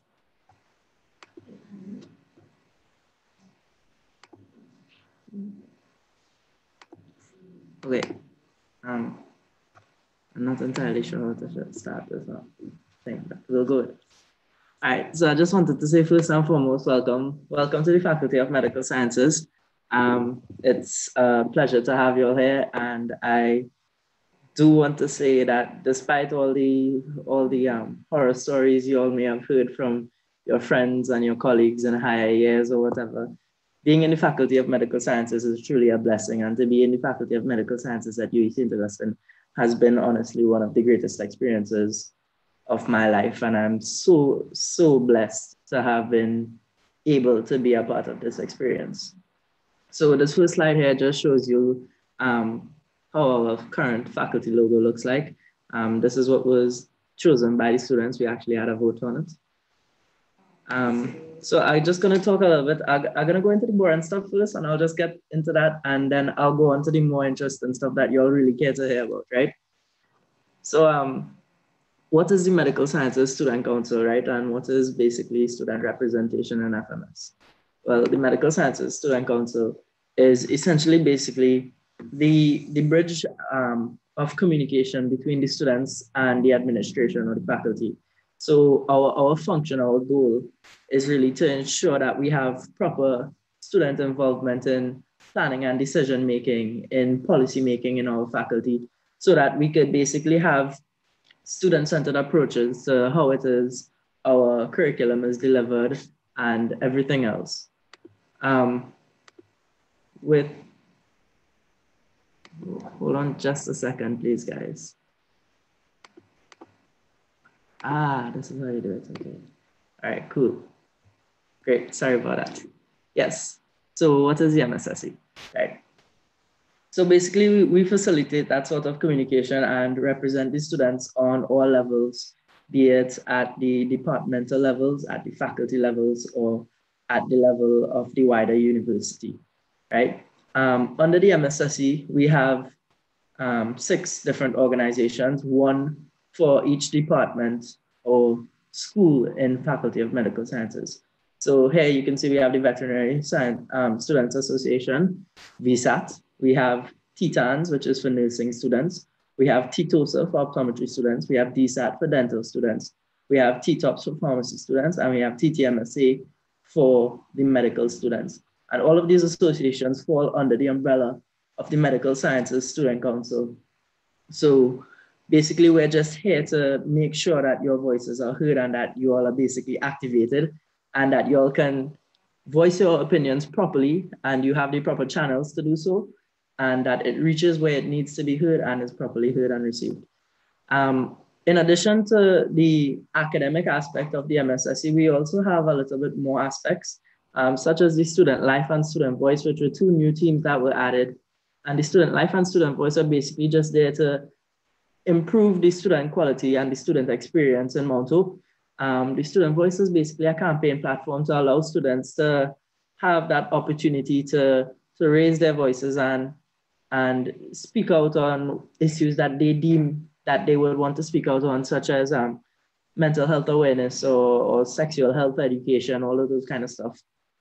Um, the student life team is basically um, consisting of all the club presidents of the um, different clubs in MedSci. And we have a lot, a lot of clubs in MedSci, right? So that's one thing you all can look forward to is the, the clubs. And I know now you all might be thinking, okay, we're going into this like online delivery or this COVID period, but trust me and uh, when I say that things will normalize eventually, and when they do, y'all have a lot to look forward for, a lot, a lot to look forward to. Um, another big um, thing that we do in MedSci is a lot of outreach. Um, so we have the MSSC outreach team, and the thing is, if you're interested in charity work, and I think a lot of you would be because I mean you're in the Faculty of Medical Sciences, right? You're you're going to be a future healthcare professional, and I think a lot of the persons who come in into our faculty are really selfless people and they care about just helping out and being your brother's keeper and looking out for each other. And that's a big thing. So within FMS, we have so many different clubs that are focused on basically just um, outreach and charity work and all of that. One of the biggest clubs that does that actually is the Leadership Council. So we have we have a lot of different clubs in MedSci and we have a lot of diversity. So really and truly, whatever it is you're looking for, we probably have it here if if it is you, you want to find talent, we have a real talent in MedSci. One of the, the biggest things um, in MedSci right now is the Diwali play. I don't know if you'll ever hear about the Meds Diwali play. It's one of the best performances you will ever see, um, especially since it's be live hunting. So that's something really that you all could look forward to eventually. Um, another thing would be the Christmas play, which is held by the MSSC outreach team now. Um, and the Christmas play is just be a pure vibe. Like honestly, when it is you go into the amphitheater and how, how the Christmas play is, why why it's held by the outreach team is because it's actually a charity thing. Um, we invite some foster student, um, foster children to come and just have a good time. We, we give them some Christmas gifts and we just put on a, a show for them. And it's really a really a nice vibe.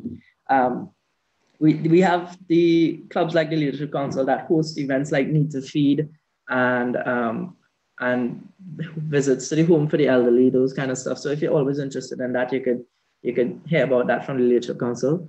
Um, we also have a very big big thing in religion. Um, we have Jummah every Friday, and we have satsangs almost every week usually um, during the normal con- convening of things. Um, so we have the Mount Hope Islamic Society, and we have the InterVarsity Christian Fellowship. Um, so if you all are religious or you, you wish to expound on your religious proficiency, you all can um, be sure to get into those, those clubs and find out what they're about and be a part of it. This is actually a very recently formed club, the African Student Union. Um, a lot of students felt like it was very necessary and um, a year two MBBS student actually started this club. Um, she, she spoke to the guild and she organized for the formation of the African Student Union. So I don't know much about where they will be going, but you all, you all can be sure to look out for that and some events coming up from them, virtual events and whatnot. Um, the FMS Safe Base is really just a, a club that is focused on the mental health of the student and promoting equity and equality among persons of all genders, sexualities, etc. The Equine Club is actually a derivative of vet school. Um, so if you're all interested in your horses and you want to get to know about them and everything, you can check out the Equine Club. We have Mount Surgical Society. Um, this is also a, a, pretty new club. This one and the Pathology Club are also pretty new clubs. They were only formed like last month or so, maybe within this year at least. Um, so we could definitely look forward to a lot of virtual events from those two clubs as well. Um, the Rotaract Club actually has this project going on right now called Project Hope, which is basically to raise awareness against suicide and um, mental health. And it's always, always a good thing to see from the Rotaract Club. Um, yeah, so that, and well, we have the Bahamian Students Association for all the regional students as well. We have a lot of other clubs and um, everything in Mount. And really and truly, when it is you guys come into Mount it's, it's one thing I want to impart on you all today is basically, I, I, w- I would say this, um, you all are coming into a very prestigious um, faculty, right? Uh, prestigious in quotation marks, but prestigious faculty. And when when I say that, I, I mean to say that you're going to have a lot of work to do. I'm not going to deny that being in FMS is not necessarily the easiest thing, but it's the decision we've made. It's the decision we've made. However, if it is you you want to get involved in other things, please do. Right? You you you will find the time. Once it is you're interested in something, once it is you want to be a part of something, you will make the time for it once you once you want to. And that's one thing I want to impart on you all is don't just sit down by your desks all day and and study study a textbook 24-7. Now, whilst that's good, yes, and you need to become a professional doctor or, or nurse or, or vet or whatever.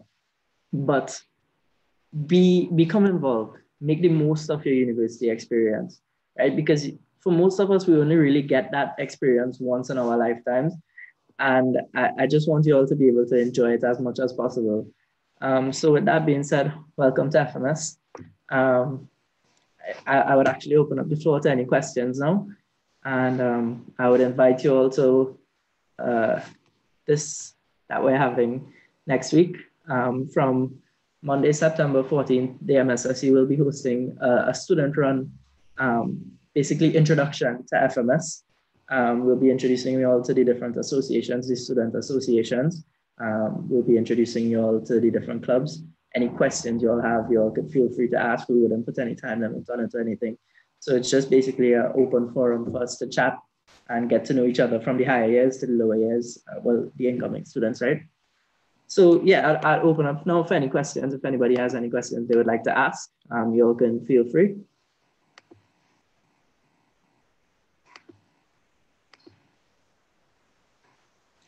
Um, so somebody asked where or how can we connect with international students that are part of the MedSci faculty? Well, um, we have a, that's, that's one thing I, I like, I, I love about MedSci is the fact that we have so much diversity in MedSci. We have a lot of international and regional students. You can find students, and I'm not just saying regional, international. You could find students from India, you could find students from Canada, you could find students from literally almost anywhere, right? Um, so those those um, students, we, we interact with them through the different um, uh, regional and international student associations, such as the Bahamian Students Association, there's a Guyanese Students Association, and so on and so forth. Um, somebody asked how to join these clubs. So y'all could um, reach out on the Instagram pages. Y'all can probably message me on Instagram if you want at adel underscore Jake or at MSSC underscore FMS and um, we'll try to get to you about that. I'm not sure if my time is up as yet or not. Um, somebody asked, what is the Mount Hope Surgical Society about? So the Mount Hope Surgical Society is basically about just fostering that love for surgery that a lot of students have, um, getting people involved or interested in what surgery is about, educating them about it, um, maybe trying to facilitate some observerships and whatnot. So that's definitely a club if you're interested in surgery from now. It's something good to, to join and get to know a little bit about where you want to go with life. Yeah. So I think that's it for the questions. Um, I'll hand you all over back to Ms. Ramatasan. Thank you very much, Adil, for that presentation. It was very informative. And now we have Mrs. Lovelace from GATE. I know students have a lot of questions pertaining to GATE financial clearance, all that sort of information. So Mrs. Lovelace, I now hand over to you where she will be doing a slide presentation and sharing some valuable contact information for you guys.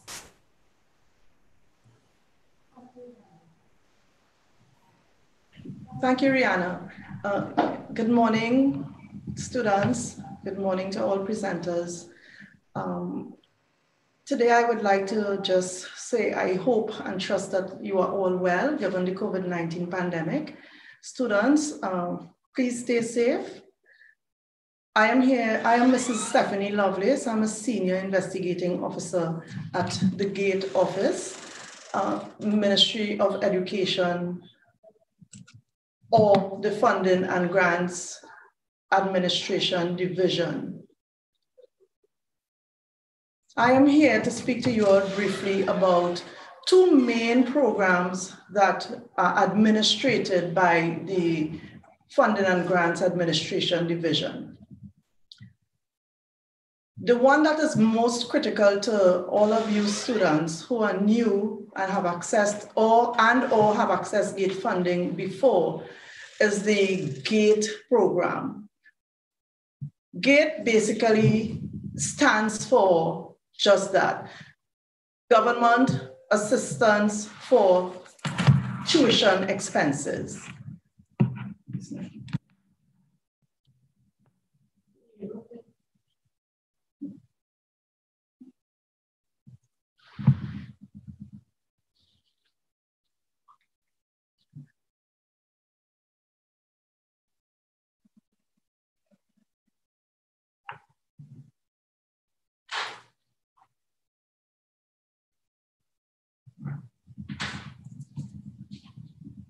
Got it. I got it. It's working with us. Okay. For students who are nationals of Trinidad and Tobago, there are some basic things that you must understand in order for you to qualify for the GATE program. First and foremost, you must be a citizen of Trinidad and Tobago and must be resident in the country for a minimum of three years prior to the time that you are requesting GATE funding. You must also be fully accepted into the University of the West Indies. In this case, being in the med sci faculty, you would have gotten a full acceptance for entry into the particular program that you are you would have requested. But there's another side to qualifying for GATE, which is you, because GATE is strictly online and has been since 2014, students, you must register and obtain an e-service ID at an approved GATE e-service registration center, which in this case would be the TT Connect centers.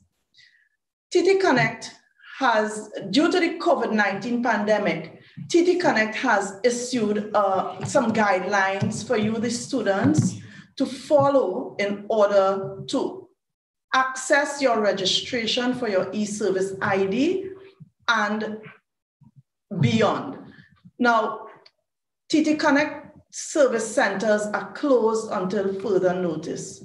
They have asked that students please do not attempt to visit the office of the TT Connect Center simply because you will be caught into in a bit of a problem. You will be there standing in line. They are not seeing persons.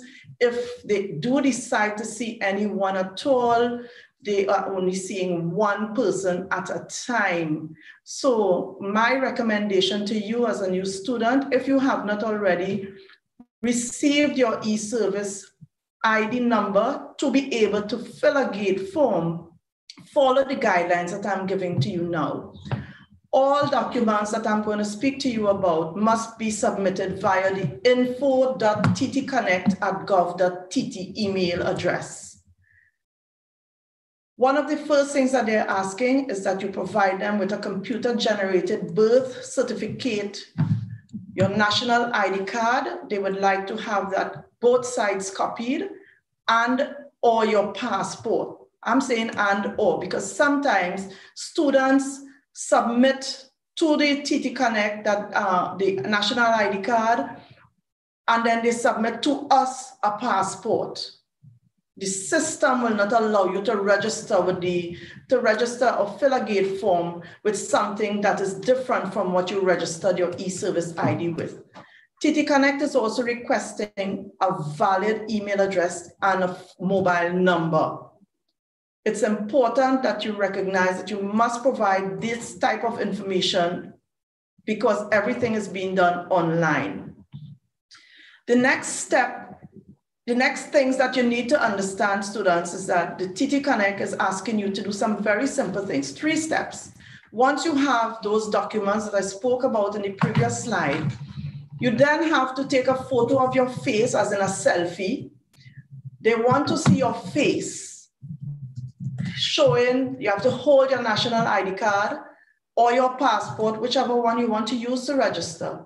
And this must be submitted as part of your registration process for your e-service ID. You must then scan and label the signed identification documents and the photograph and email it. Again, I'll repeat that email address, info.ttconnect at gov.tt. The TT Connect, they would have said that two days is the average days, amount of days that they would take to process and provide you with a registration with your Gate e-service ID, I would say give them three. They are swamped. A lot of emails are coming into them, and I'm not too sure whether they are able to meet their two-day timeline. However, please submit your documentation as quickly and as clear as possible so that you can get through.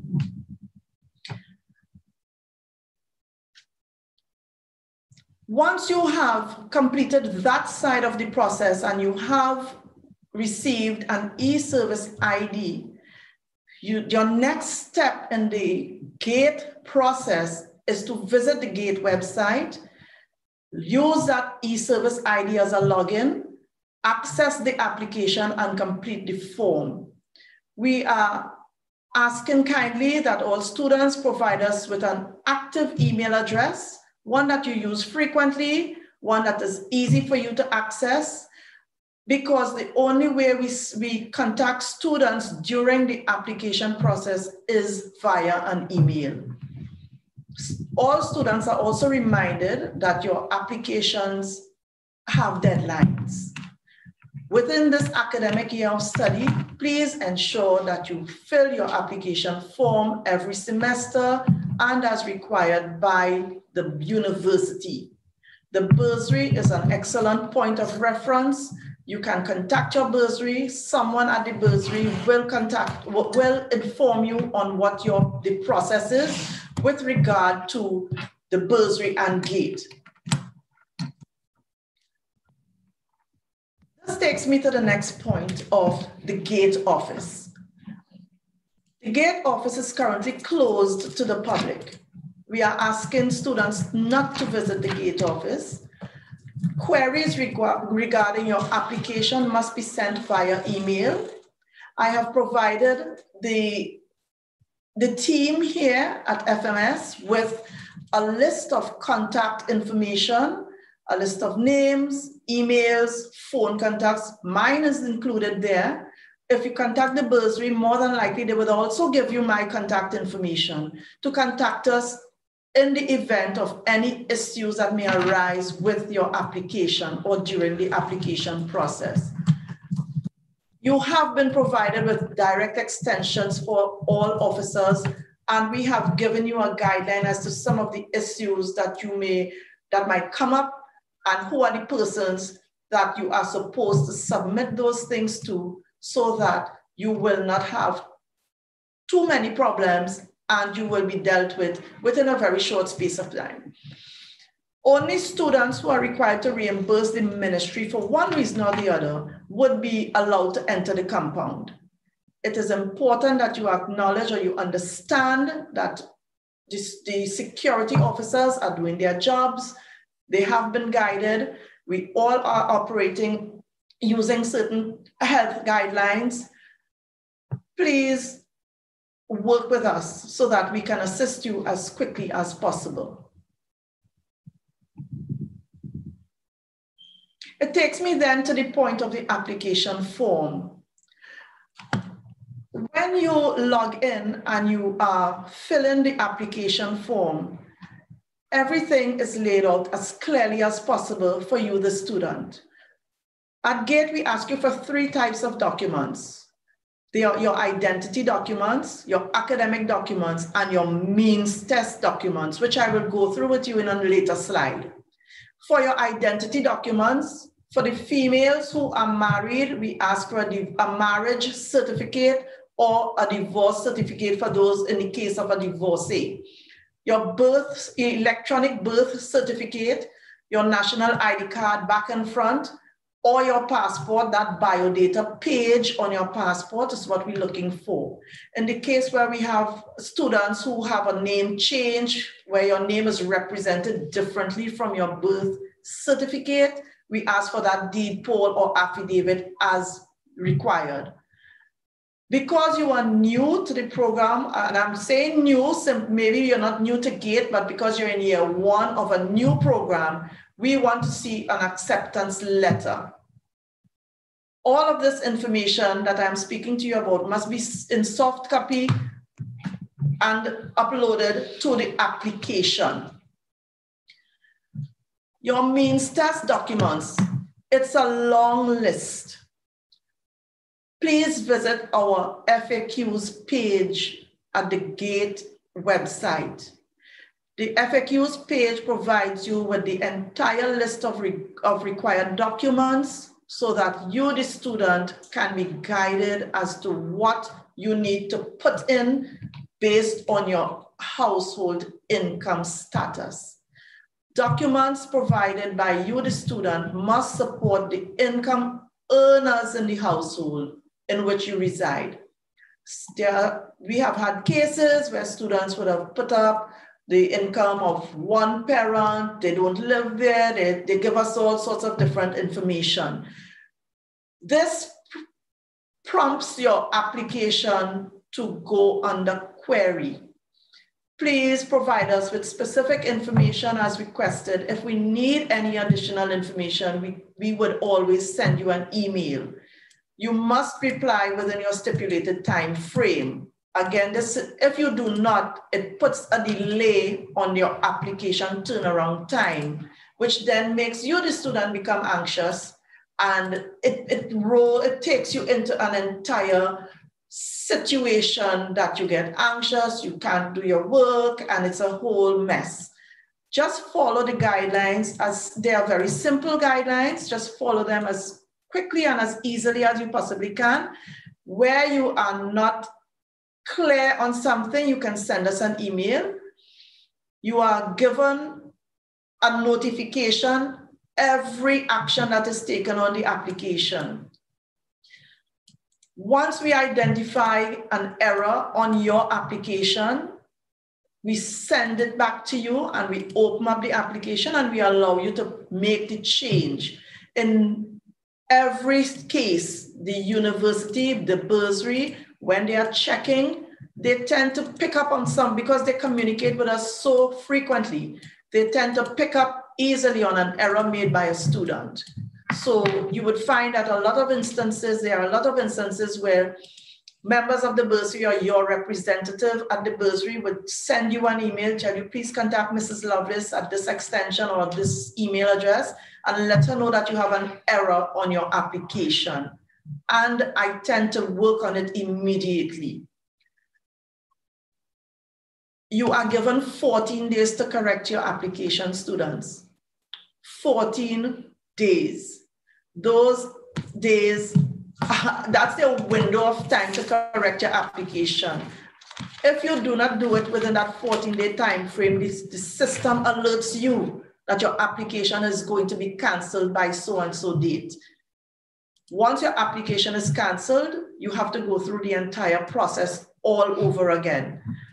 In an effort to prevent yourself from being placed in that kind of precarious situation with the bursary then contacting you, telling you, you need to come and pay us, I would suggest that you keep monitoring your email, keep monitoring, monitoring, monitoring, because we contact you via email all the time.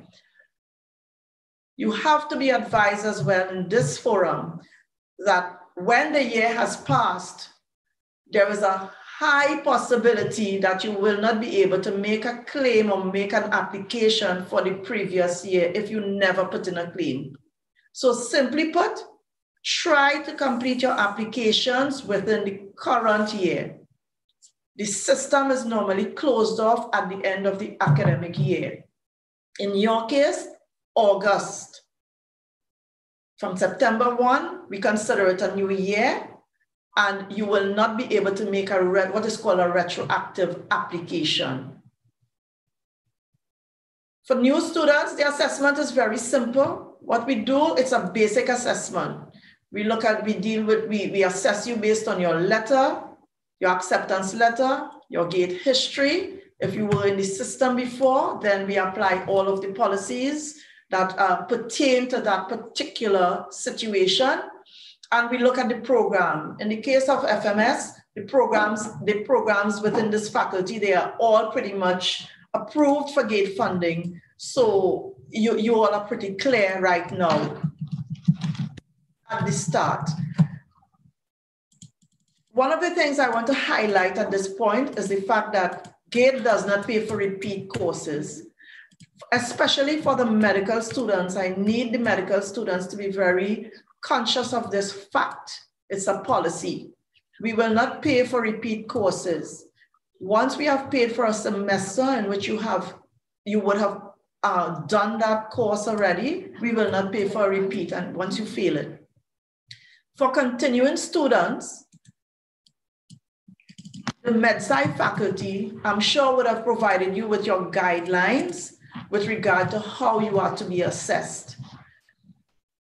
GATE normally follows the guidelines that, that are provided by the, the medical faculty. And I'm stressing on this because the medical faculty, they, while the, the university might be looking at you under uh, GPA, we look at you under both a GPA and your pass and fail rating. So those are things that I need you to understand very clearly. Again, if you have any further questions, you are free to ask uh, either in the question and answer forum or you can send me an email. Two critical points based on this information are student registration fees and all other amenities that are supposed to be paid by the students are based on the institution.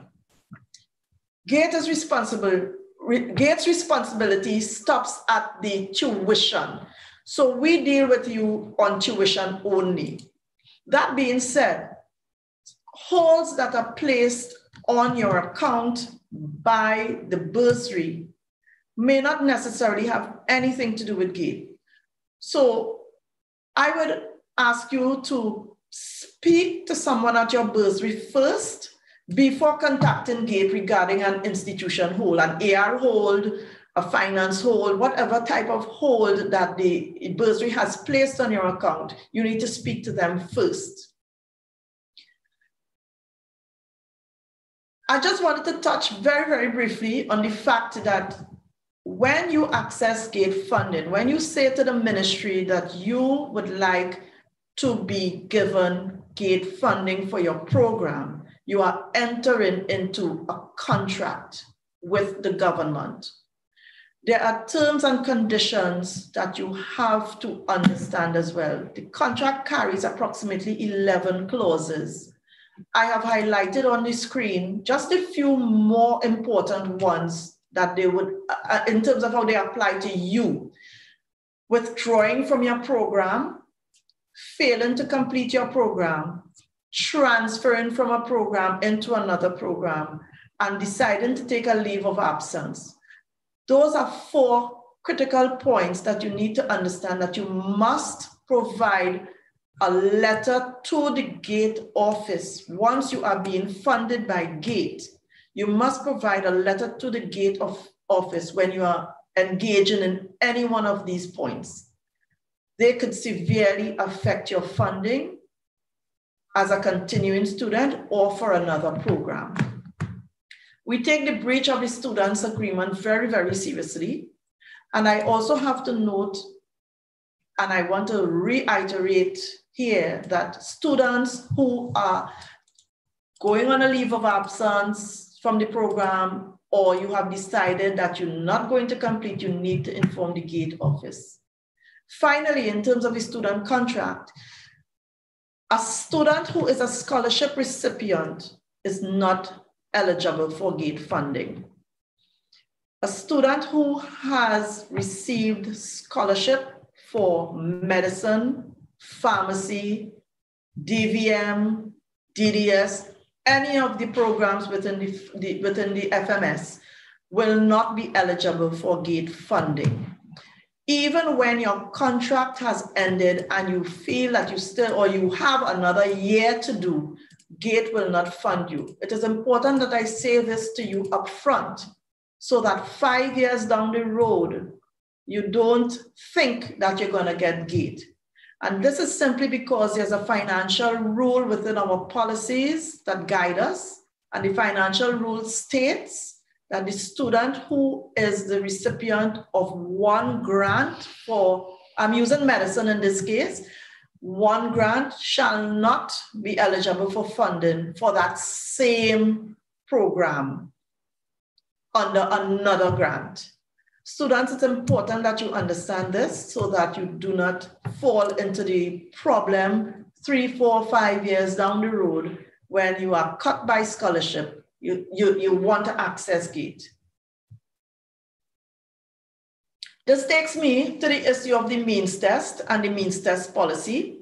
Again, I would ask you to visit the FAQs page on the GATE website there is a very detailed um, list of information, but I just want to highlight a few critical points for you. The means test policy became effective in 2017. It was, it was implemented as a cost sharing method, which basically tells us or tells you, the student, how much money we are going to pay on your behalf to the university. So the gate side the gate clearance side, because these are terminologies that you would, you would be seeing and hearing along the way in your, in your course of study. Gate clearance basically tells you, okay, you are good and eligible to receive gate funding. But the means test tells you how much money we will pay. We are asking that you ensure that your accurate information is provided to not just to avoid sanctions, and sanctions simply mean that we may stop the funding or we may decide to give you 50% regardless of your situation. But it is also to ensure that we have a quick turnaround time on your application and the processing of the means test. I'm still on the means test because a lot of students because you, you tend not to read everything that pops up on the screen, you make certain errors. And one of the biggest errors that we have encountered is a student who has skipped the means test. The implications of skipping the means test to you, the student, is that you are signaling to us at the ministry that you can afford to pay 50% of your fees we cannot do anything when you skip the means test. We are not authorized to make changes to your application. I am asking, please, that you, once you decide that you would like to access the means test, because you do have the option, your parents, your family might decide, okay, we can afford to pay 50% or my income is over a certain amount, we will get 50% anyway, we will skip the means test that's an option that you have available to you, but that's a decision that you must make wisely. When you apply for the means test, please ensure that household income, and the household income refers to all the persons who are living within the household and are employed. One last point on the means test is that the means test rating is for one academic year. So whatever rating that you get in semester one, that's going to take you into semester two. Only when we are movement or progression into year two or year three of the program, as the case might only then will we then reassess you for means test again.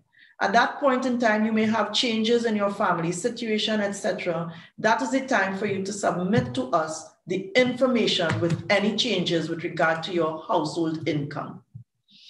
On the screen, I have put up for you an idea. Again, this is stated very clearly on the FAQs page, but it just basically gives you a breakdown of the household income levels that we look at and what you will be eligible for as a student in terms of the funding. Where the household income is $10,000 per month or less, the student will be eligible for 100% of your tuition fees. Now I say eligible because there are, we have the case of incomplete applications which will not be processed and students will be required to pay 50% of the tuition. And that would be regardless of whether you your household income is $10,000 or less. All right. And where the household income is above 10, but less than 30, you become eligible for 75%. And where the household income is above 30,000 per month, the students will be eligible for 50% of tuition fees. The students who do not wish to apply, which is what I mentioned earlier in the previous slide, if you do not wish to apply for means test because it is not mandatory, you will be required to pay 50% of your fees. What happens is that in the application process, if you do not apply for the means test, the application goes directly to the institution once we have processed it for gate clearance. And then the university can just apply the fees and submit the claim thereafter. Very easy. I've just inserted here for you for postgraduate level students, which pretty much um, is also on our FAQs page. So I will not go into too many details on this one, but um, I know once you have reached, you have completed your first level of study, some of you move on to the DM level. So that would be interesting information for you. Um, that pretty much brings me to the end of the, the points regarding the GATE program. Uh, I must highlight here though, that the, the, there is a, another program that is administered by the Funding and Grants Division, and that program is the HELP. The, the HELP loan program is a low interest student loan that is given through any one of the major four banks.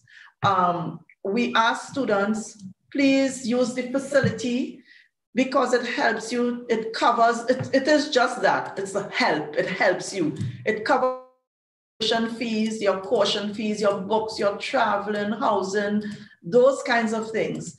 It, it takes some of the pressure off of your family in terms of the output, the financial output upfront. There are two things though that you need to know. One is that you, the student, must qualify for GATE in order for you to qualify for the help loan.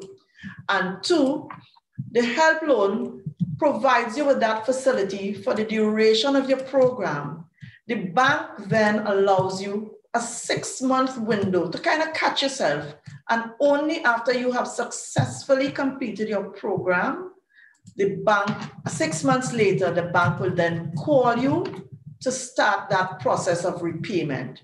So it literally gives you enough time to kind of catch yourself, understand, go through, go through your five years or your four years, as the case might be, easily with some help and with a, the least amount of stress in terms of your financial situation. And complete your program easily. So we, you can visit the website as well or contact any one of the four major banks. FCBs are good, they're very user-friendly. Republic Bank, they, they, they're very, very user-friendly in terms of the information that they provide you and how they work with you to get a help loan. Just some general information before I close. There are certain things that you need to know as well. There are, for example, if you have dropped out of the program and you want to re-enter the program, what happens is that we have to reassess you. So there would be certain types of ask you for, such as an updated transcript, your, a letter from the university, that kind of information, and you will also be subject to the means test. Uh, students, critical is that you will be funded only for the duration of your approved program and based on the means test. So please try to stay within the five year or the four year period. For me, I believe strongly in the fact that there are no traffic jams in the extra mile. So you just go the extra mile, try, work hard, stick to your five years, and come out smiling. Again, check our FAQs on the website. You can contact us via 800 GATE or send us an email at gate.info at moe.gov.tt. Thank you very much for having me and thanks for listening. Thank you, Ms. Lovelace. I do have a few questions Sure. here from students that I will present to you. You can read them accordingly and answer any that we may have. Okay. So, okay. So the first question was, what if you have a gate ID from a previous degree? A gate, your gate e-service ID is yours for your lifetime in the gate program. That ID, you don't need to change it. There isn't anything, um, there's no, there would be no change to that ID. You can use that same ID to log in and complete your application form.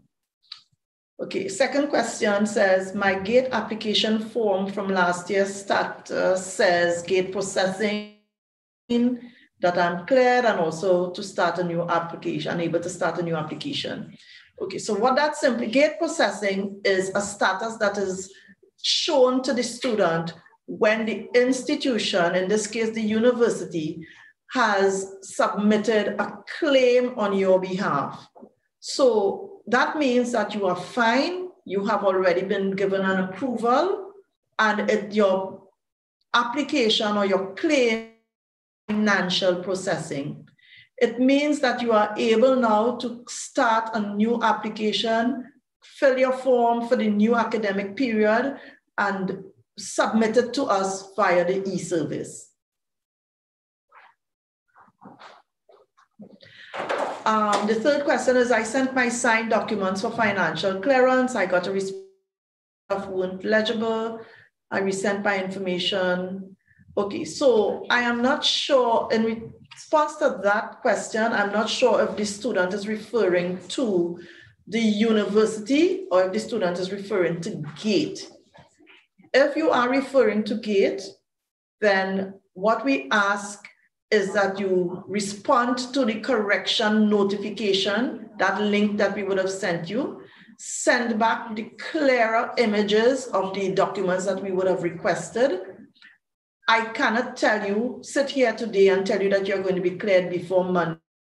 The, the entire thing is a process. Even going through the application, it's a process. So what I can tell you is that once your application has been submitted, we will be looking at the applications as quickly as possible. Up to what, what age is GATE available to be approved? GATE is available for persons under the age of 50 only. Uh, what all documents need to be sent in in order for financial clearance? Okay, so again, I'm not sure whether the student is requesting information regarding financial clearance from the university or financial clearance from GATE. All of the documents that I have highlighted in my slides, those are the documents that we require for you to receive a GATE clearance.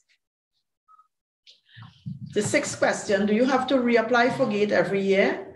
Actually, yes. And in the case of UWI, you have to apply for GATE every single semester. In the case of FMS, you all, we do not um, accept applications for semester three because by the university standards, you all are two semesters. So you have to apply for every semester. Please, I ask you to monitor your GATE applications and ensure that you apply every semester as long as you are enrolled and registered in the faculty and registered for courses. Very excellent question is the next one. In the means test, is the household income before or after taxes? It is before taxes.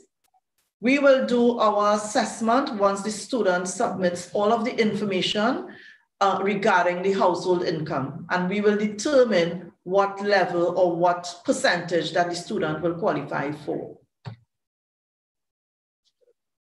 Okay, the other question is theoretically speaking, what if a household income is 12K, but there are a lot of kids in the family, mandatory expenses, mortgage, the means test, in a case like this, we ask that you contact us directly because we would not want to have your information, too much of too many of your personal information made public. So in cases like this, when you would like us to have some kind of consideration based on what is going on in the household, we ask that you speak to the senior investigating officer personally, and she will determine how she's going to assess you at that point. While we have our policies, we are we are not unkind, I have to say, for want of a better word, in some in terms of how we are assessing the students. But again, there is no guarantee that you're going to get a perfect answer. It is just an opportunity for you to, to provide us with information so that we can reassess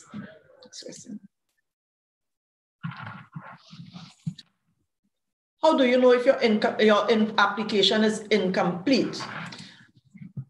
You would know because we would send you a notification via email requesting additional information, both on the GATE clearance side and on the means test side. So once you have provided us with information and we need additional information, we will send you an, an email. Do we have to repay our GATE funding after? This is actually a very good question.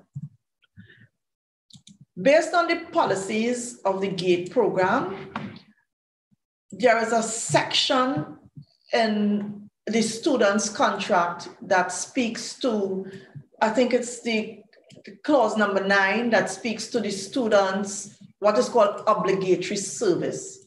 So what we are saying to you is that while we are not telling you, come and pay us back the amount of money that we might have spent on your behalf, we are saying to you that once we have spent in excess of, uh, there are different ranges. So for example, under $50,000, we ask you to provide obligatory service to the country for one year, and then it goes all the way up. And once you cross 300,000, which is in the case of almost every program in FMS, your obligatory period of service is five years.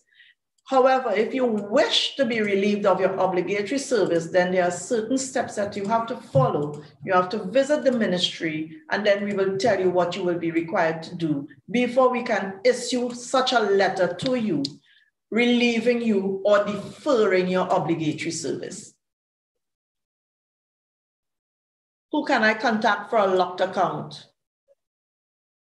Okay, uh, on the screen, you will see a list of contact, direct contact information.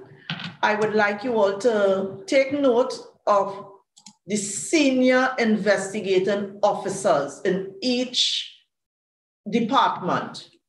So if you if you take a look at the, the one that says verification and GATE admin, and then there is IT, you are free to contact that second block, verification and admin, email them directly and someone will respond to you as soon as possible. Okay, my GATE application states that clearance is approved. When will it be, when will I be made aware of how much GATE I'm covering?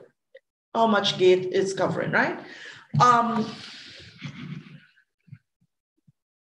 to give you, sit here and give you a timeline, I would be unfair to you.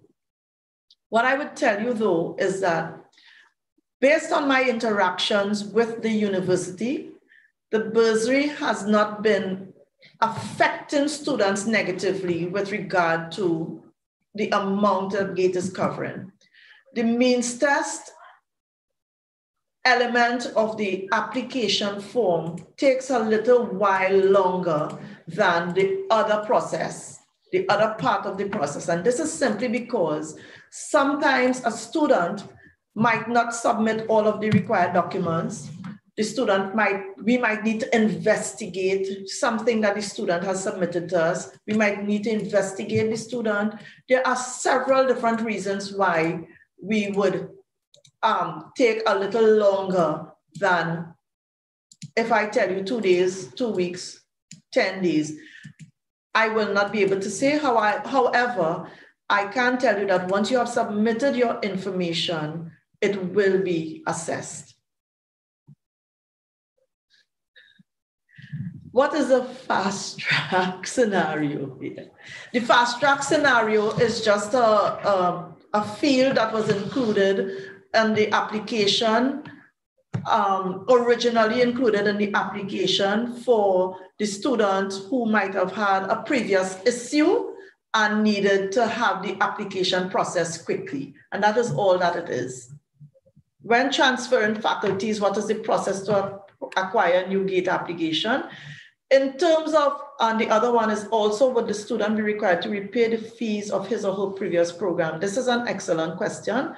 Once you are transferring faculties, the GATE policy says that if you are, have failed to complete a program originally paid for by GATE, you, the student, will be required to refund all the money that we have paid. So when you are transferring faculties, I need you to be very, very conscious. Make sure that you get all of your information. Contact the GATE office before you do so always make sure that you have your documents. The bursary is also a very good point of reference for you in terms of transferring faculties.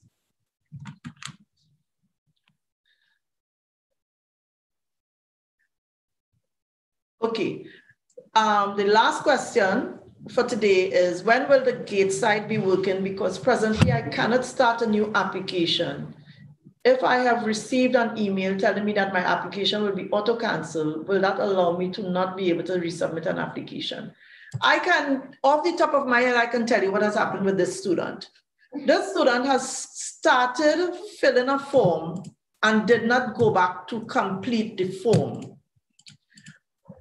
And then that student might have had another application in the system. So it is literally confusing the system that auto cancellation notice that you will that you will have received is the system reading that you never went back to the form. I would like you to look at the screen, take my contact information and give me a call. Um, I don't know who the student is, but the student, I'm sure he or she is listening. Senior Stephanie Lovelace, give me a call or send me a direct email and I would take I would take a look at your profile and I would be able to guide you. Even if you're emailing me, if you don't get me and you have to email me, make sure that you put a mobile number so that I can reach you tomorrow morning. If you send it to me today, I will respond to you by tomorrow, please God. Okay? Final question. Can I access GATE for this semester at 49? Well, there are that two-part answer to that. The first question is, when will you be 50? If you're 49, when will you be 50? And the second part of it is, if you're 49 now and you access GATE, you will get GATE funding for only this semester. The moment you turn 50, your GATE funding will be cut. You will not be able to get funding for anything beyond the semester. And that is pretty much it. So thank you all so very much for your kind attention. I do appreciate your questions and I do hope that I have been helpful and I hope that the information that you all are taking with you will be useful in your life, in your career path here at the university and in your communication with us at GATE. Thank you again. Have a wonderful, wonderful semester. I wish you all the best and please stay safe. Thank you very much, Mrs. Lovelace, for that very informative presentation. Students, we have tried to accommodate your questions as best as possible in a very short time frame. Um, anyone requesting further information, you can go to the, the websites that were advertised just now. We can put that information in the chat for you so that you can feel free to contact and email persons regarding all your queries. For our last segment, we do have our CMO, Dr. Roshan Parasram, delivering a talk on COVID. And this talk starts at 2 p.m. We all know that our CMO has a very busy schedule. He was able to facilitate us at 2 p.m. So we will be having an intermission and in that intermission, the live stream link will be up and running. However, you can pause, you can get something to eat, can get something to drink. And then when you come back for 2 p.m., you will be seeing your presentation with the CMO. We have one more day left for our orientation, which is Friday. I did notice that students were asking about the respective Zoom links. Please note that the school, School of Dentistry, School of Veterinary Medicine, School of Nursing, School of Pharmacy, optometry students, your school or department will be in contact with you to give you that access to that Zoom link. Additionally, I will be posting the Zoom links in the chat in the morning. So if you did not receive that email, do not stress. In the morning when you sign into the live stream you will be able. Once you click on that zoom link i would advise that you mute your mics so that you can hear your presentation based on ethics and professionalism by your respective speakers so this brings us to our intermission point i do thank you for your involvement for your activeness in asking questions. I do not think I have any more questions. I see students are still asking information about GATE in the chat, so I will be sharing that contact information shortly. And I look forward to meeting with you at 2 p.m. again. Thank you and enjoy your break.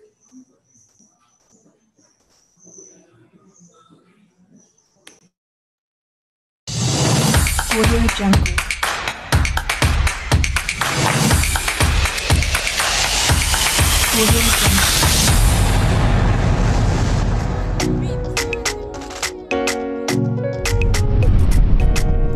Welcome to your first year experience at the UWI St. Augustine campus. We at the Division of Student Services and Development are truly delighted that you have made the choice to hashtag BUE. And as your university family that cares, we have put together this short yet comprehensive orientation exercise to get you started for your new and exciting journey with us. Your orientation instructors, we are delighted to spend this time with you and guide you every step of the way through this very important learning exercise. During this online session, you will be introduced to valuable information that is specific and relevant to your first year of study. The information covers a range of important topics and is presented to you in eight short lessons that will allow you to learn all you need to know in a quick and simple manner. Here's how it will work. Each lesson will introduce you to a specific topic and will be presented to you via video. You are required to complete one lesson at a time before moving on to the next and pay very close attention to the information being shared with you in each lesson. Some lessons will provide quizzes, exercises, and activities for you to complete at the end. You are required to participate in this as it will help strengthen your understanding of the various topics that we will cover. We ask that you pay close attention to the information that will be shared with you in each lesson. Look out for the instructions, take notes, and open your mind to learning about your new university environment. Remember, your participation in the first year experience program and this orientation exercise is important to your successful transition to the UWI St. Augustine campus. Students, we are so excited to get you started and do hope that you get the most out of this fun, engaging, and educational first year experience right here at the UWI St. Augustine campus. Are you ready? Great, let's get started.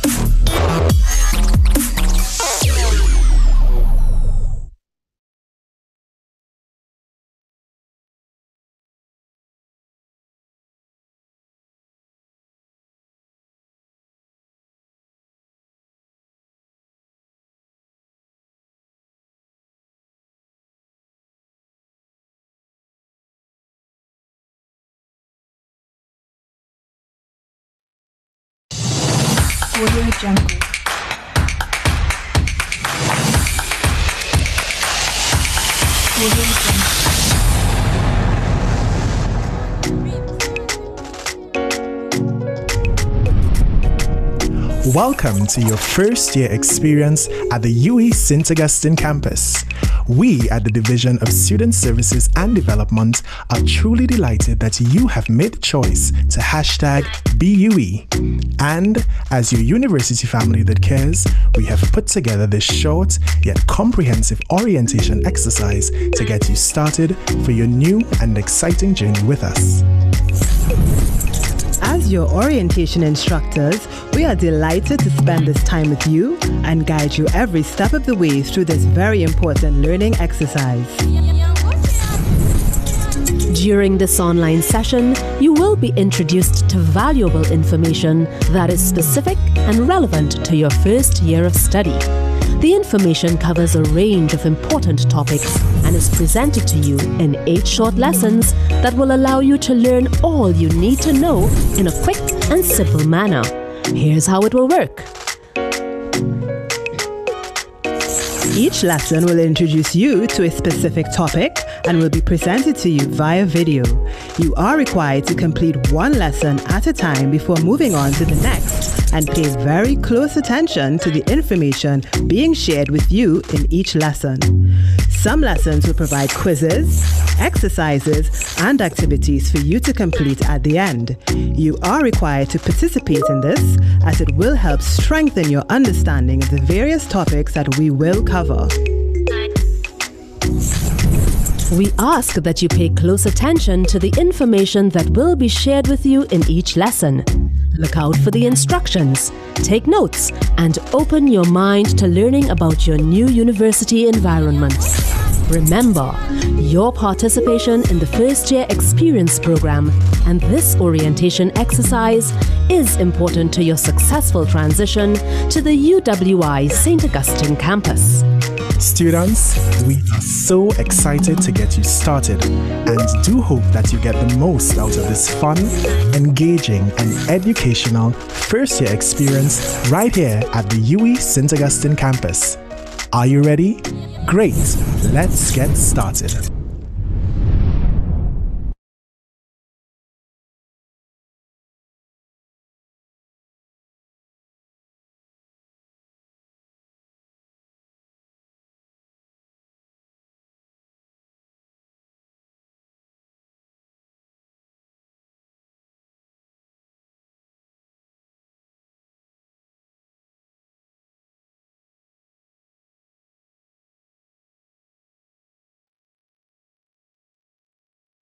you.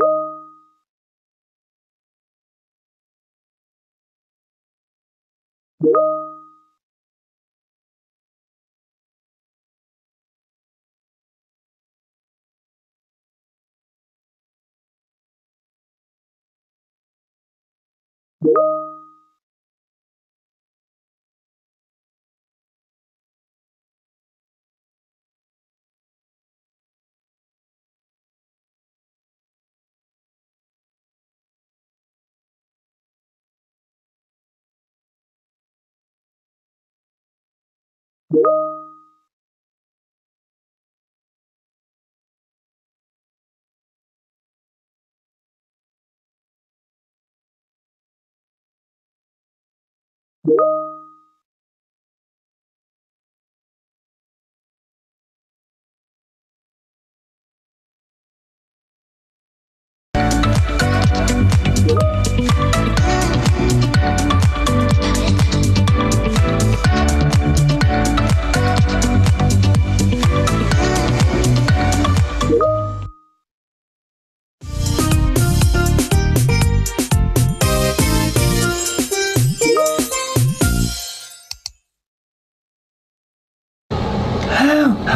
Brandon, you sound sick. Literally just started the video. How could you possibly know that? Literally everyone has been asking me, hello? You're blocking my face? Literally like seven people asked me to do it. So I'm gonna go ahead and fulfill all seven of those people's wishes and do part two. I may or may not be sick. May feels a little more accurate than may not, but last time I got um, almost nowhere. So this time I'm gonna try to get a little further than that. I like playing these games. Hopefully you guys enjoy these. If you don't, I'm gonna keep playing them. Day one of being sick, correct. Oh, something already. What is this? A door lock.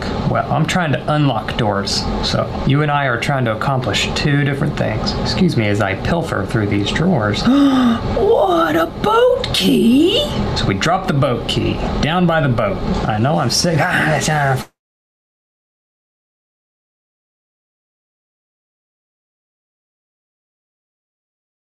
Coffee while I wait.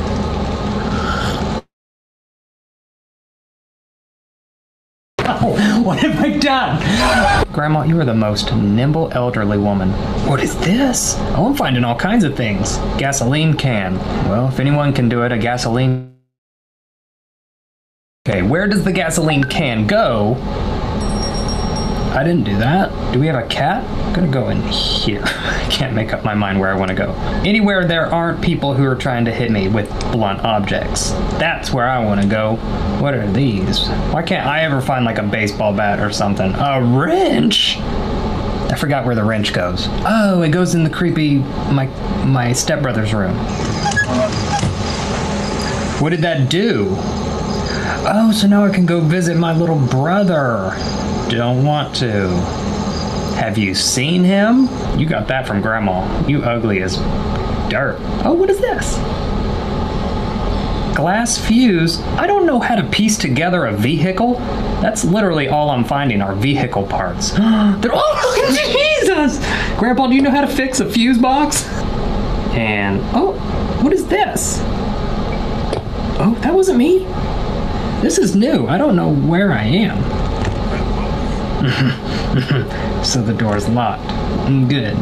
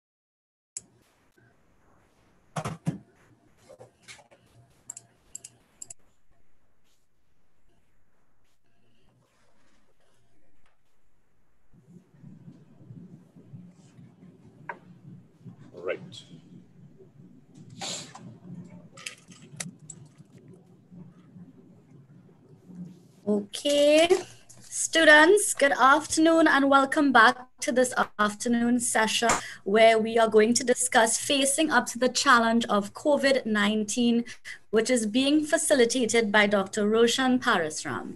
Dr. Parasram, as we all know, is our Chief Medical Officer at the Ministry of Health. He is a physician and public health consultant working as the Chief Medical Officer of Trinidad and Tobago. In his capacity as Chief Medical Officer, he is the national focal point as it relates to international health regulations. He tenures as the Quarantine Authority for Trinidad and Tobago. Accordingly, he is also the chairman of the Multi-Sectoral Committee to treat with COVID-19, the novel coronavirus, and any emerging infectious diseases. He is the chairman of various national committees, including the Drug Advisory Committee, Food Advisory Committee, Pesticides and Toxic Chemicals Control Board, National Drug Advisory Committee, Arboviral Committee, Clinical Assessment Committee, Psychiatric Tribunals, Antibiotics Committee, Opticians, and the member of the Medical Board of Trinidad and Tobago. Dr. Parasram, I now hand over to you. Welcome and thank you for facilitating us this afternoon. Hi, good afternoon. Thank you and welcome to everyone, all the students. Um, to the lecture, I will try my best to paint the picture of where we're at in terms of COVID-19 and of course what has been the major challenges affecting our system. So the audio is fine, I take it? Yes, we are hearing you quite well. Okay, um, so just in terms of, I'm just trying to get my presentation up. Give me a second. Problem.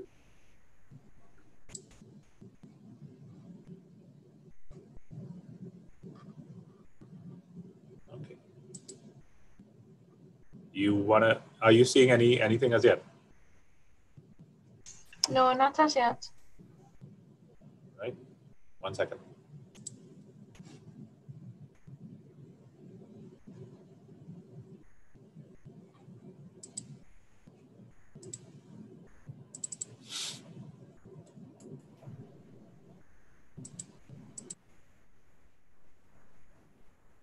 It should be coming up in a few seconds, I hope.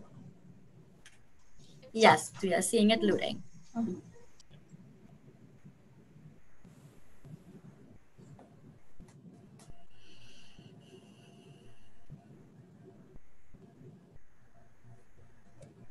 Okay, Dr. Parash, Yeah. it's up and ready to go. It is? Yeah. All right. Yes, it's showing. So you see, it. all right. Um, let me just begin the Thank you.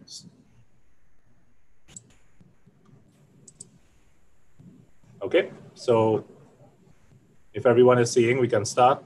So facing up to the challenges of COVID-19 in Trinidad and Tobago, our response, understanding the challenges and implementing practical solutions. So the presentation will focus basically a history of the pandemic from its outset, including where we are in Trinidad and Tobago, the local context, some of our challenges and some of our solutions thus far. So as you would be aware, on December 31st, 2019, the Wuhan Municipal Health Commission in China reported a cluster of cases of a pneumonia in Wuhan, Hubei province. It was a novel coronavirus, was eventually identified, but originally presented as severe acute respiratory illness of unknown origin. Um, that was subsequently traced to a wet market in that particular province. And as we all know it today, it, is, it has been linked to something called COVID-19. In the early days of the epidemic, it would have been called coronavirus. Um, March 11, 2020, the WHO declares the coronavirus a pandemic. And a pandemic meaning, generally speaking, that it affects the entire globe. And WHO has a specific way to define how it is affecting the world. It is divided, the world that is into many sub-regions. We are a part of the Americas, which is the Caribbean region is a subset of the Americas. There are other regions, example, Africa, Asia, and different parts of the world that are categorized as WHO. So for something to be a pandemic, then there must be ongoing transmission of an epidemic existing in at least three different WHO categories at the same time. So at the time it was declared, they were actually occurring epidemics in more than three. So WHO declared on March 11 the WHO pandemic coronavirus. As you know, coronavirus is a group of viruses, a sub subgroup of which is COVID-19. So it is a novel type of coronavirus. Coronavirus is a, is a virus that actually is very common. We had coronavirus type illnesses in Trinidad long before COVID 19. It normally is a flu like, causes a flu like mild illness, and it is part of the common cold spectrum. So, this pandemic, in terms of growth, has grown exponentially. Uh, in the past week or so, it has been categorized as having 27.6 million cases worldwide and very close to 900,000 deaths in a period from December till present. And deaths across nearly every country in the world has already occurred. As you know, Trinidad is roughly about 40 deaths thus far since the beginning of our epidemic. The global situation has evolved dramatically since the onset of the pandemic in Brazil and US, accounting for over 75% of the world cases. In the recent last few months, the epicenter has shifted away from China and other parts of Europe and has become the US, where we are seeing the highest rates of growth per day, and Brazil as well, which is part of the Americas, of which Trinidad and Tobago is a part. Um, so the numbers in Brazil and US usually have around 55 to 50,000 cases per day of new infections. That's over a 24 period. The transmission of the disease had the ability to overwhelm the health systems governments were urged to prepare their health systems for an attack, to take urgent and aggressive action to change the course of the pandemic. So this is in terms of our Trinidad and Tobago picture thus far. This is from March 12th when we had our first case. Our first case, if you all recall, would have been a national who returned to Trinidad and Tobago and presented with a flu-like illness. We had been testing for COVID-19 through the Caribbean Public Health Agency for roughly a month, five weeks prior to that, going back to the 7th, I believe, of February. So we were testing for COVID 19 in addition to other respiratory illnesses, for example, H1N1 and other 14 other pathogens, which we normally detect for before COVID 19 came along. So, this, if you look at this graph, it actually shows laboratory confirmed cases in Trinidad and Tobago during both phase one. Phase one started, as I said, March 12th and went all the way up to July 20th.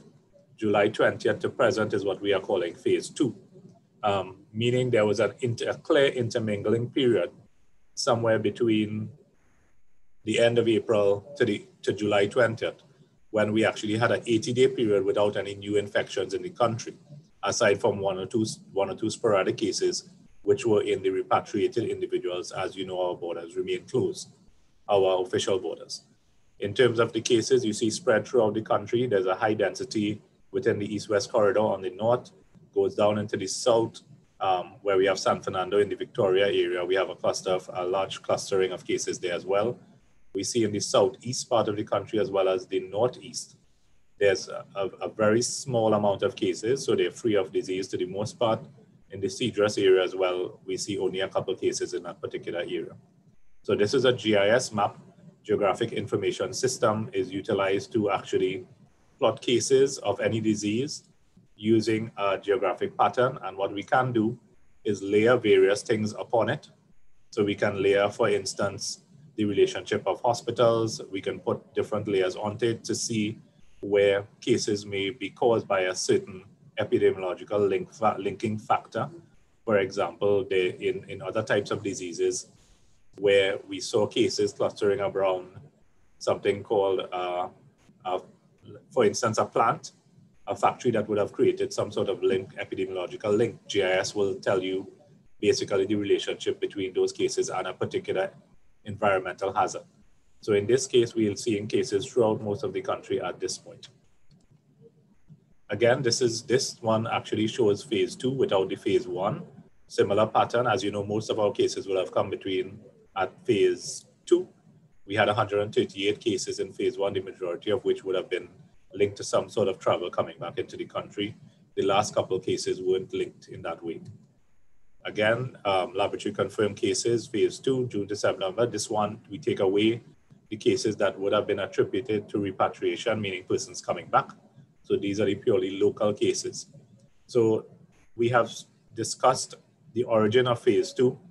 Phase two started with the with persons coming through the, the, the border, possibly legally, through not the official border, and of course bringing with them this virus and then spreading it to our population. So we saw phase two beginning clearly when we did our epidemiological linking of the first few cases and a number of them afterwards.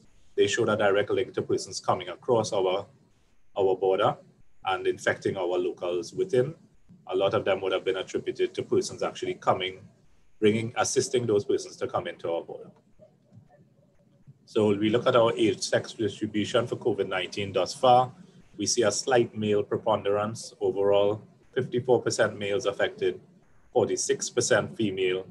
The majority of affected individuals, 25 to 49 years of age, more women than men in the 50 to 54 age group and the 55 to 59 age group, and 9.84% comprise persons less than 19 years. And of course, those were broken into 5.3% being male and 4.47% being female. We have seen a death rate up to recent times in Trinidad and Tobago of about 1.51%. Before today, that would have been for yesterday, meaning the, and that is taking the total number of lab confirmed cases and dividing that by the total number of deaths, the opposite way around. So that is our death rate. Globally, we have seen a death rate anywhere between 2 and 5%. It varies based on the demographic of persons affected as well, how quickly the disease spreads, its ability for the countries to cope in terms of their health system what we have been able to do in Trinidad, thankfully up to this point, is slow the, the rises of cases to a point where our, our ICU, HDU capacity has not been outstretched as yet. If there's a fast increase in number of critically ill people, it can do that very easily. So that is what we are guarding against at this point, and of course, trying to control the number of deaths that we have. We have seen the majority of deaths occurring in the elderly, persons with comorbid illnesses, and that is a mirror of what is happening internationally. Persons greater than 60 years of age with diabetes, hypertension, chronic obstructive pulmonary disease, and other immunocompromised states. We have had a few deaths below 60 years of age, and those, to the most part, have been individuals that also have comorbidities. Um, so it has mirrored to more or less the international demographic of deaths, and we are really trying our best to protect our vulnerable populations, which are basically those that I just described. So in terms of our cases by date collected, so you would have noted, for instance, in one particular day, there would have been reporting of over 150 cases. Our, this has been disaggregated by the date that the swab was actually taken. So it gives you a better idea of when the illnesses would have come. So if you look at the graphs, the blue graphs represent July, the purple ones represent August, and the dark blue on the right-hand side represent September. So looking at our graph, it would seem that on Epi week 34, 35, which coincides to the middle, to the end of August, we would have had a the largest peak. And that would have coincided with some events that took place. As you all know, there was an election in this country on the 10th of August. Prior to that, there was a two week period where persons gathered in large mass without wearing their masks without having uh, any social distance. And what we think is that that would have created those spikes that we saw in the middle of August and the end of August, um, respectively, creating large spikes where we see upwards of 110 being our maximum at every week 25 um, in terms of the days going forward that we have the largest number of cases. Thankfully, we have seen a decline since then into the our our lag in terms of specimen testing is about a week. So I would say up to the end of August, we are fairly confident that those figures are correct, meaning that we had actually seen a substantial drop in the cases um, that are labeled 37, 38, 39, 40 so far um, from the large rise that we saw coming towards the end of August. So we are hopeful that with the measures that we put in place on about the 17th of August, which is, as you would recall, there's a large number of uh, decrease in activities, closure of the beaches, closures of the rivers, and those all those activities that we close are really to decrease the amount of mass gathering that is occurring in the country persons can't congregate less than five, and all the other measures are really to decrease the likelihood of this virus jumping from one individual to another. And these are measures that have been used across the world um, with varying successes based on the adherence to the public health recommendations. So in terms of our local context, January 23rd, the Ministry of Health monitoring COVID-19. March 11th, coronavirus declared a pandemic. March 12th, first case recorded. March to June, the first wave, which I described before. July to present, the second wave. August 26th, new stay-at-home quarantine orders. And cases so far, 2,588. The number of deaths, this was a few days ago, 39. It is now standing at 40 discharged so far 749. That will increase as well as we start to discharge persons from the community. So our first wave again, March 11th to June. So these are some characteristics. It was well within our testing capacity because the numbers were very low in terms of the number of cases. So of course, if you have smaller number of cases, the majority of them being persons that would have repatriated and been in controlled environments, that, that spread to primary, secondary, tertiary, quaternary contracts would not have occurred. And therefore, our follow-up would have been minimal in terms of swabbing.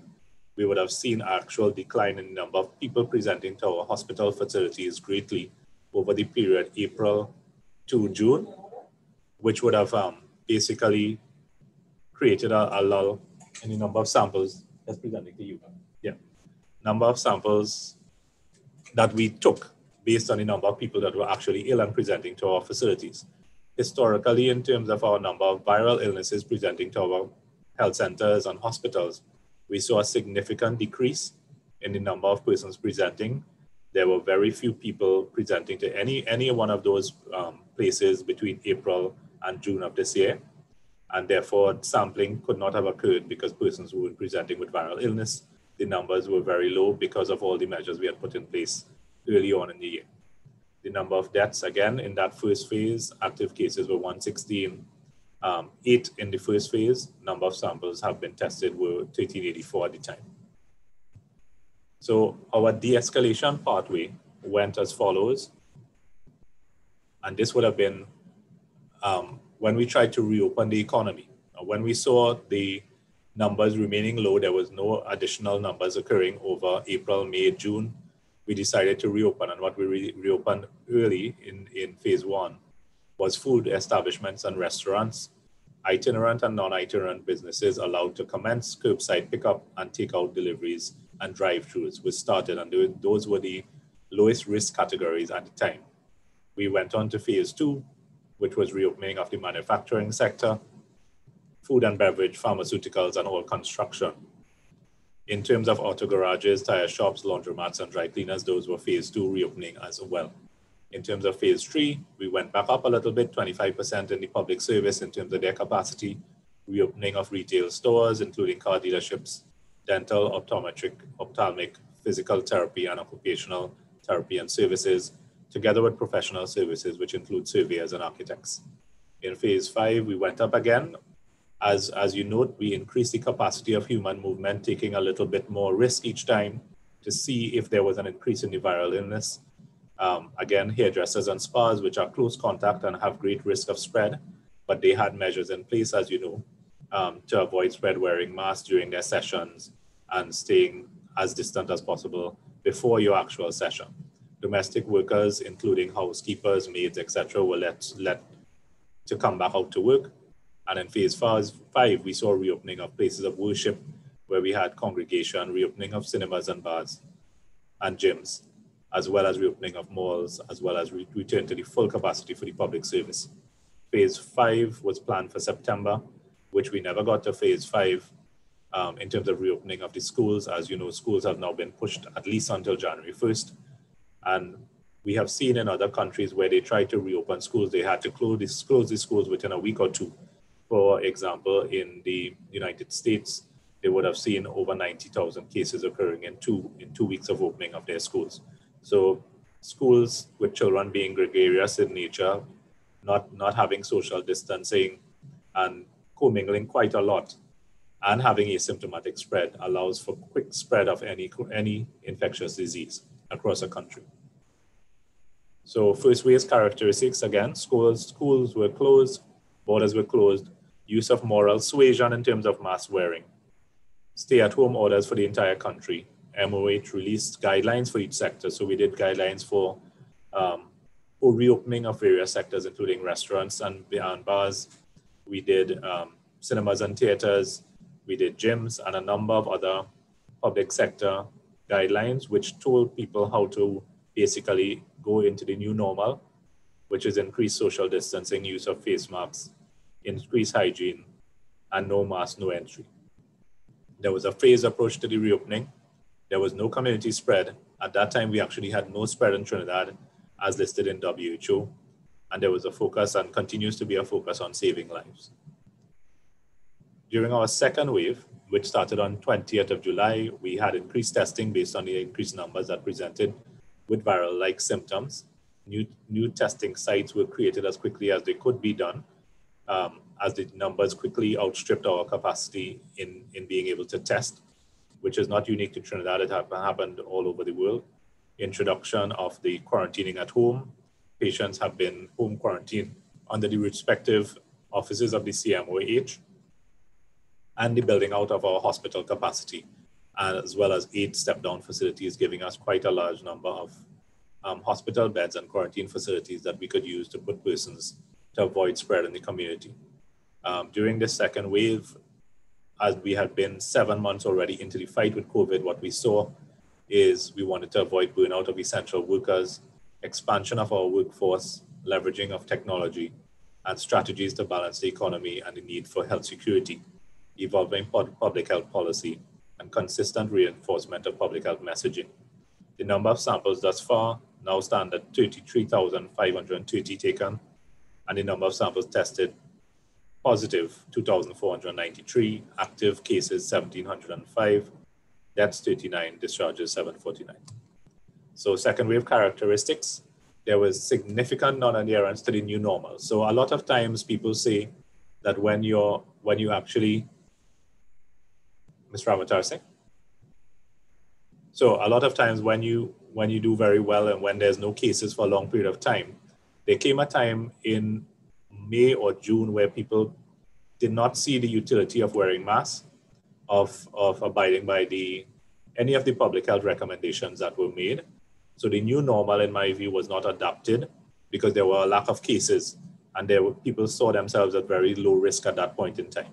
Schools were planned to reopen. They were reopened for persons for one month prior to the SEA exam um, and school age children were infected quickly thereafter when the, the wave began on July 20th.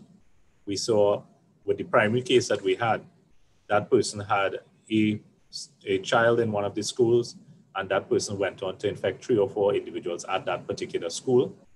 Um, again, the, the, the focus remains on saving lives and schools to be reopened and has reopened now in September using a hybrid model where you have online learning taking place in a lot of schools.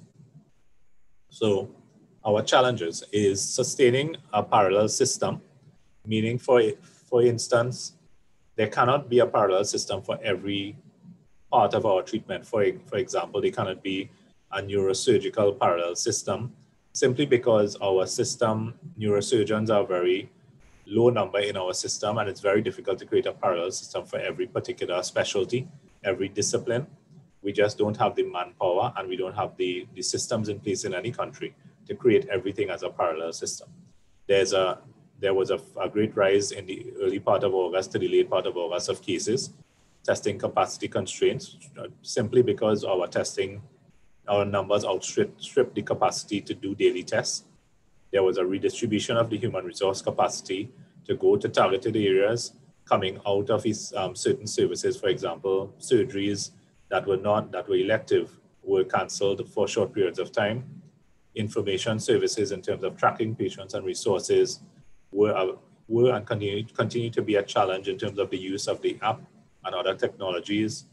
Non-adherence to the public health guidelines continue to be a, a significant contributor to the increased number of cases.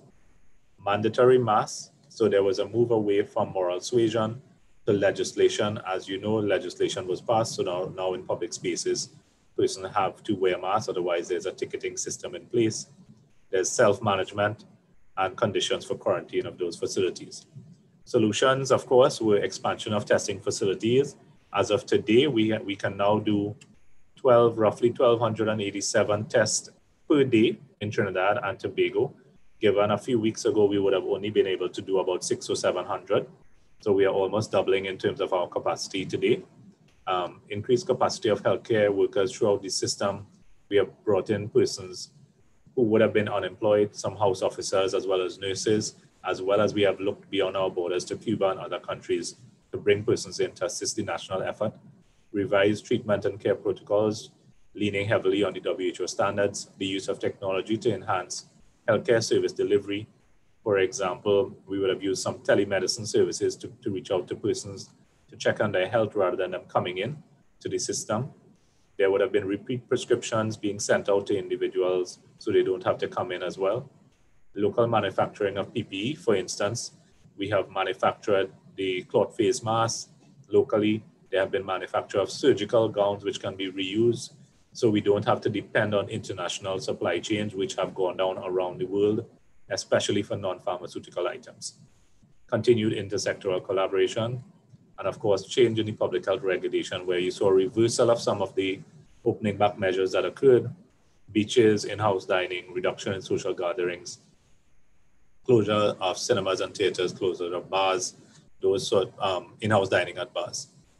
Focus on lives and livelihood, this pandemic will be with us for quite some time until, until either one of two things happen, until countries get herd immunity, uh, in which case there's no way that the virus can propagate itself going from one individual to the next. If you get a vaccine that is very effective and safe and can be given to the majority of your population, then of course, because of the vaccine, people having the antibodies to that disease, they can't spread it as well, they can't contract it. So um, depending on herd immunity from other countries is another way that the virus can die itself out. For instance, if most of Europe and USA gets herd immunity, the virus may essentially not be able to come into other territories from those areas. Again, strengthening border control measures and other public health measures. As you know, our borders remain closed, our legal borders.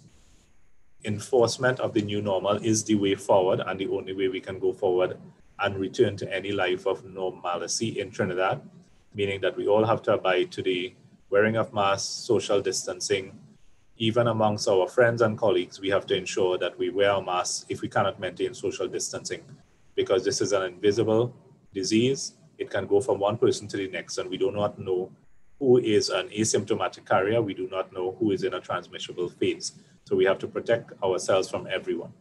Strengthened health promotion campaigns to strengthen the public health understanding of the new normal, of course, legislative frameworks were required, for example, the wearing of masks, with a collaboration with the national security to ensure adherence to quarantine orders and heightened social responsibility. Okay, thank you, and I'll take any questions that you all may have.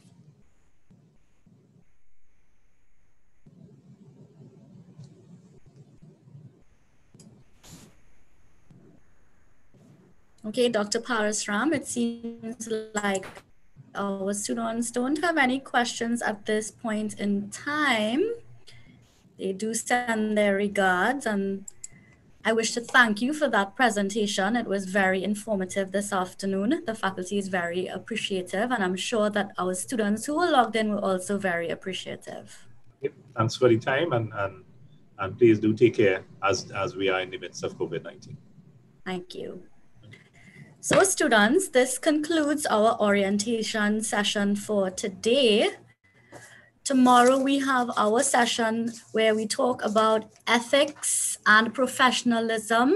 Zoom links would have been sent, as we mentioned, to students once again. If you have not received a Zoom link, I am going to put this in the chat, the chat link, where you can send me an email citing your name and your program please specify if you are a student of nursing, optometry, dentistry. So that way you would get the correct Zoom link and there would be no mix-ups. I thank you all again for your participation in orientation sessions today. And I look forward to meeting with everyone tomorrow. My email address I am sending now for those who have not received the Zoom link. Thank you once again, and that concludes today's orientation session.